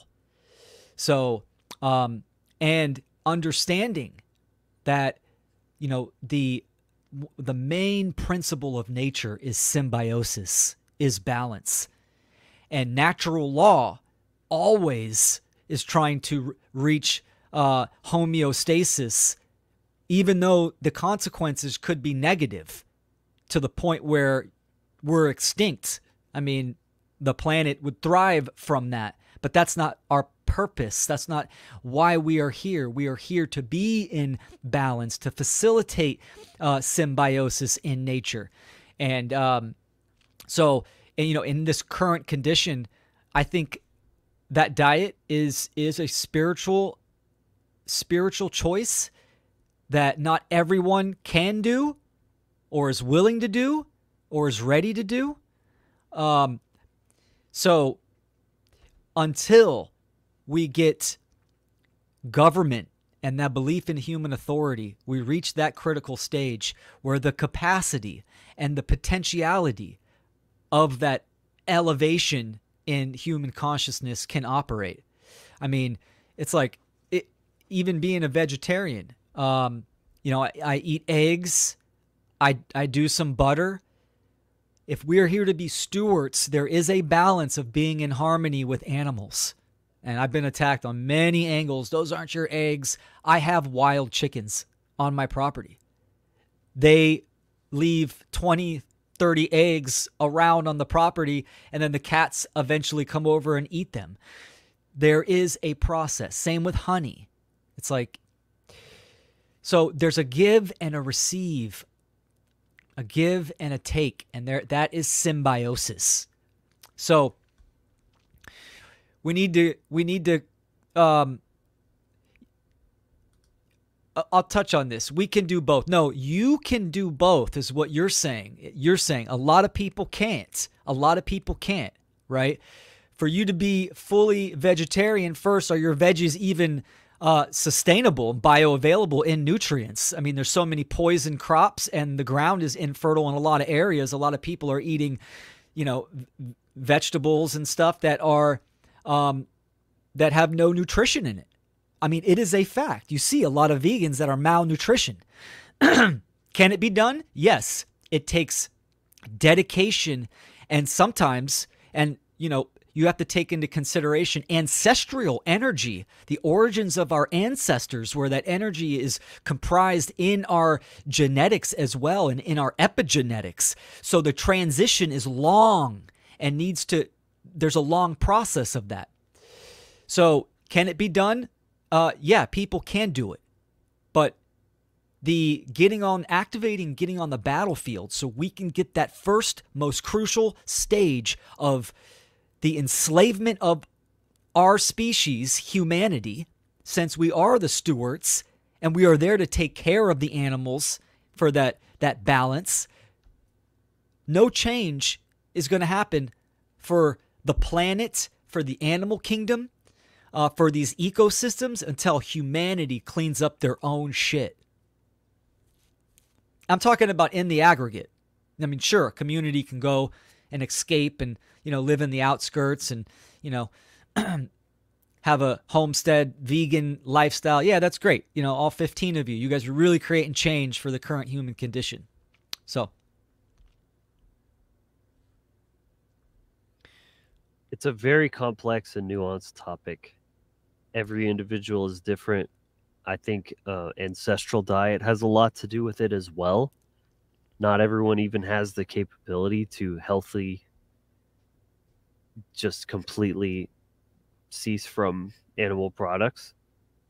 Yeah. And yeah, it's just it's it's more of a personal thing than certain people would like to acknowledge.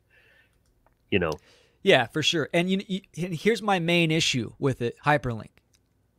Listen to me. Do, you don't hear me, listen to me. The reason why this is such a big problem is because it's polarizing. This is where Very, all the very. militant vegans come out of the woodworks on my comments, emails, nonstop. They all come out and they all think we must accomplish this goal, right? We must. This is the only way. You do it. Where's your work?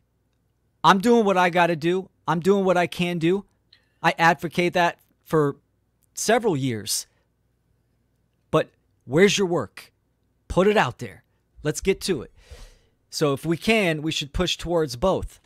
Yeah, if if somebody can, go for it. That that's a personal deci- decision. We need to understand that we are in a state of war and enslaved. So we need people to get out there and talk about objective morality and the illusion of government so people can quit their cult. And sure, you want to talk about extending morality to the animal animal kingdom, which is which is true. I totally agree with that. You can do that. You can educate that. Just like Mark has. Mark has his few episodes and then he and he doesn't try to go there anymore because it's so polarizing. It's not him, it's other people that still need to do more of the work and get get from that reactive polarization to more of the balance and need to understand that there are certain objectives that we need to accomplish in the aggregate. right? Yeah, I know you guys have a weekly discussion. If this is hyperlink, if this is who I think it is, then I've seen bits of your guys' show and um, it's it's pretty whack, bro. All you guys do is just talk shit about people. So, anyways, I'm he- done he on that rant. specifically mentioned Jeffrey Phillips earlier. Oh, did he? Yeah. Got it. Uh, that's not helping. Uh, that's not helping anyone. I, and I, I, I'm not trying to be a dick or an asshole, but just getting on a call with a group of people to talk shit about people, to troll people. I'm, ca- I'm calling you guys out. I'm calling you guys out right now. This is what I'm doing. This is the meaning and purpose of this rant is I'm calling you guys out. You guys aren't doing shit. You guys just talk shit and this does not help the cause. We need true education effective, efficient education, not trolling. Because all hmm. you're doing is putting yourself in a tunnel vision and pushing people's awareness away because of the reactiveness and the polarization. So that's my that's my piece. Let's move on to um, any other Yeah. questions. Had to Yeah. get that out. Be Sacred Space. Everyone, go check out her channel. She's uh, I did an interview with her. She's fantastic. Great show. It's always great to see you, Will and Logan together. You're two amazing duo, and have always had so many amazing gems to share. Thank you too for the work you do. Appreciate Thank you, it. B. Yep. Th- thank you, B. That means a lot. two two things I'll say to that. First, um, I've received your email, B, and I will respond to you soon. B has uh, invited me to join her show, which I would love to do. I'm just extremely, extremely busy right now. Second thing is, we are amazing duo, and uh, more on that very soon. We're going right. to be teaming up in a much more significant, formalized way people will um, hear more about that soon. Absolutely. Big news. I'm thrilled for that. Um, i- it's hard to Not spill the bean. not spill the beans. yeah, So excellent. yeah. I think that's gonna. I think we're gonna wrap it up. Um, long presentation, great chat on the the after discussion chat. Appreciate you always coming on, Logan. You always add so much. Um, go ahead and uh, let people know where they can find you and Thanks, your brother. work. Yeah, Yeah, y'all can visit thewizardfactory.com and especially follow me on or subscribe on YouTube. It's where I put most of my specific uh, best quality content, long form stuff. that's right. Excellent. Thanks, man. Yeah, Yeah, man. amazing presentation, brother. Thanks for having me on. It's always a pleasure and a, an honor and a privilege. Likewise, man. Thank you so much for hopping on, dude. I'll put you backstage. I'll do my outro and say my my piece to the people. Thanks again. Peace, everybody. Thanks for watching. All right, ladies and gentlemen, man, what what a long show. I, I love it. I love doing this. I love doing these presentations. I hope you guys have found value uh, in this presentation. Remember, part two is coming out in two weeks. I'm back on my regular schedule every other Wednesday. It'll be part two of the spirituality. We're going to dive into animism, it, the worldview, the practice, symbiosis with nature. So I'm highly looking forward to that. It's uh, it's definitely a topic that I'm extremely passionate about. So until then, you guys take care. Thanks for joining, and uh, check out my work, all of my work at willkeller.com. And big shout out to the One Great Work Network where we are streaming to. So my uh, my producer Aaron, and uh, I'll see you next time. Thanks for joining, y'all. Appreciate it.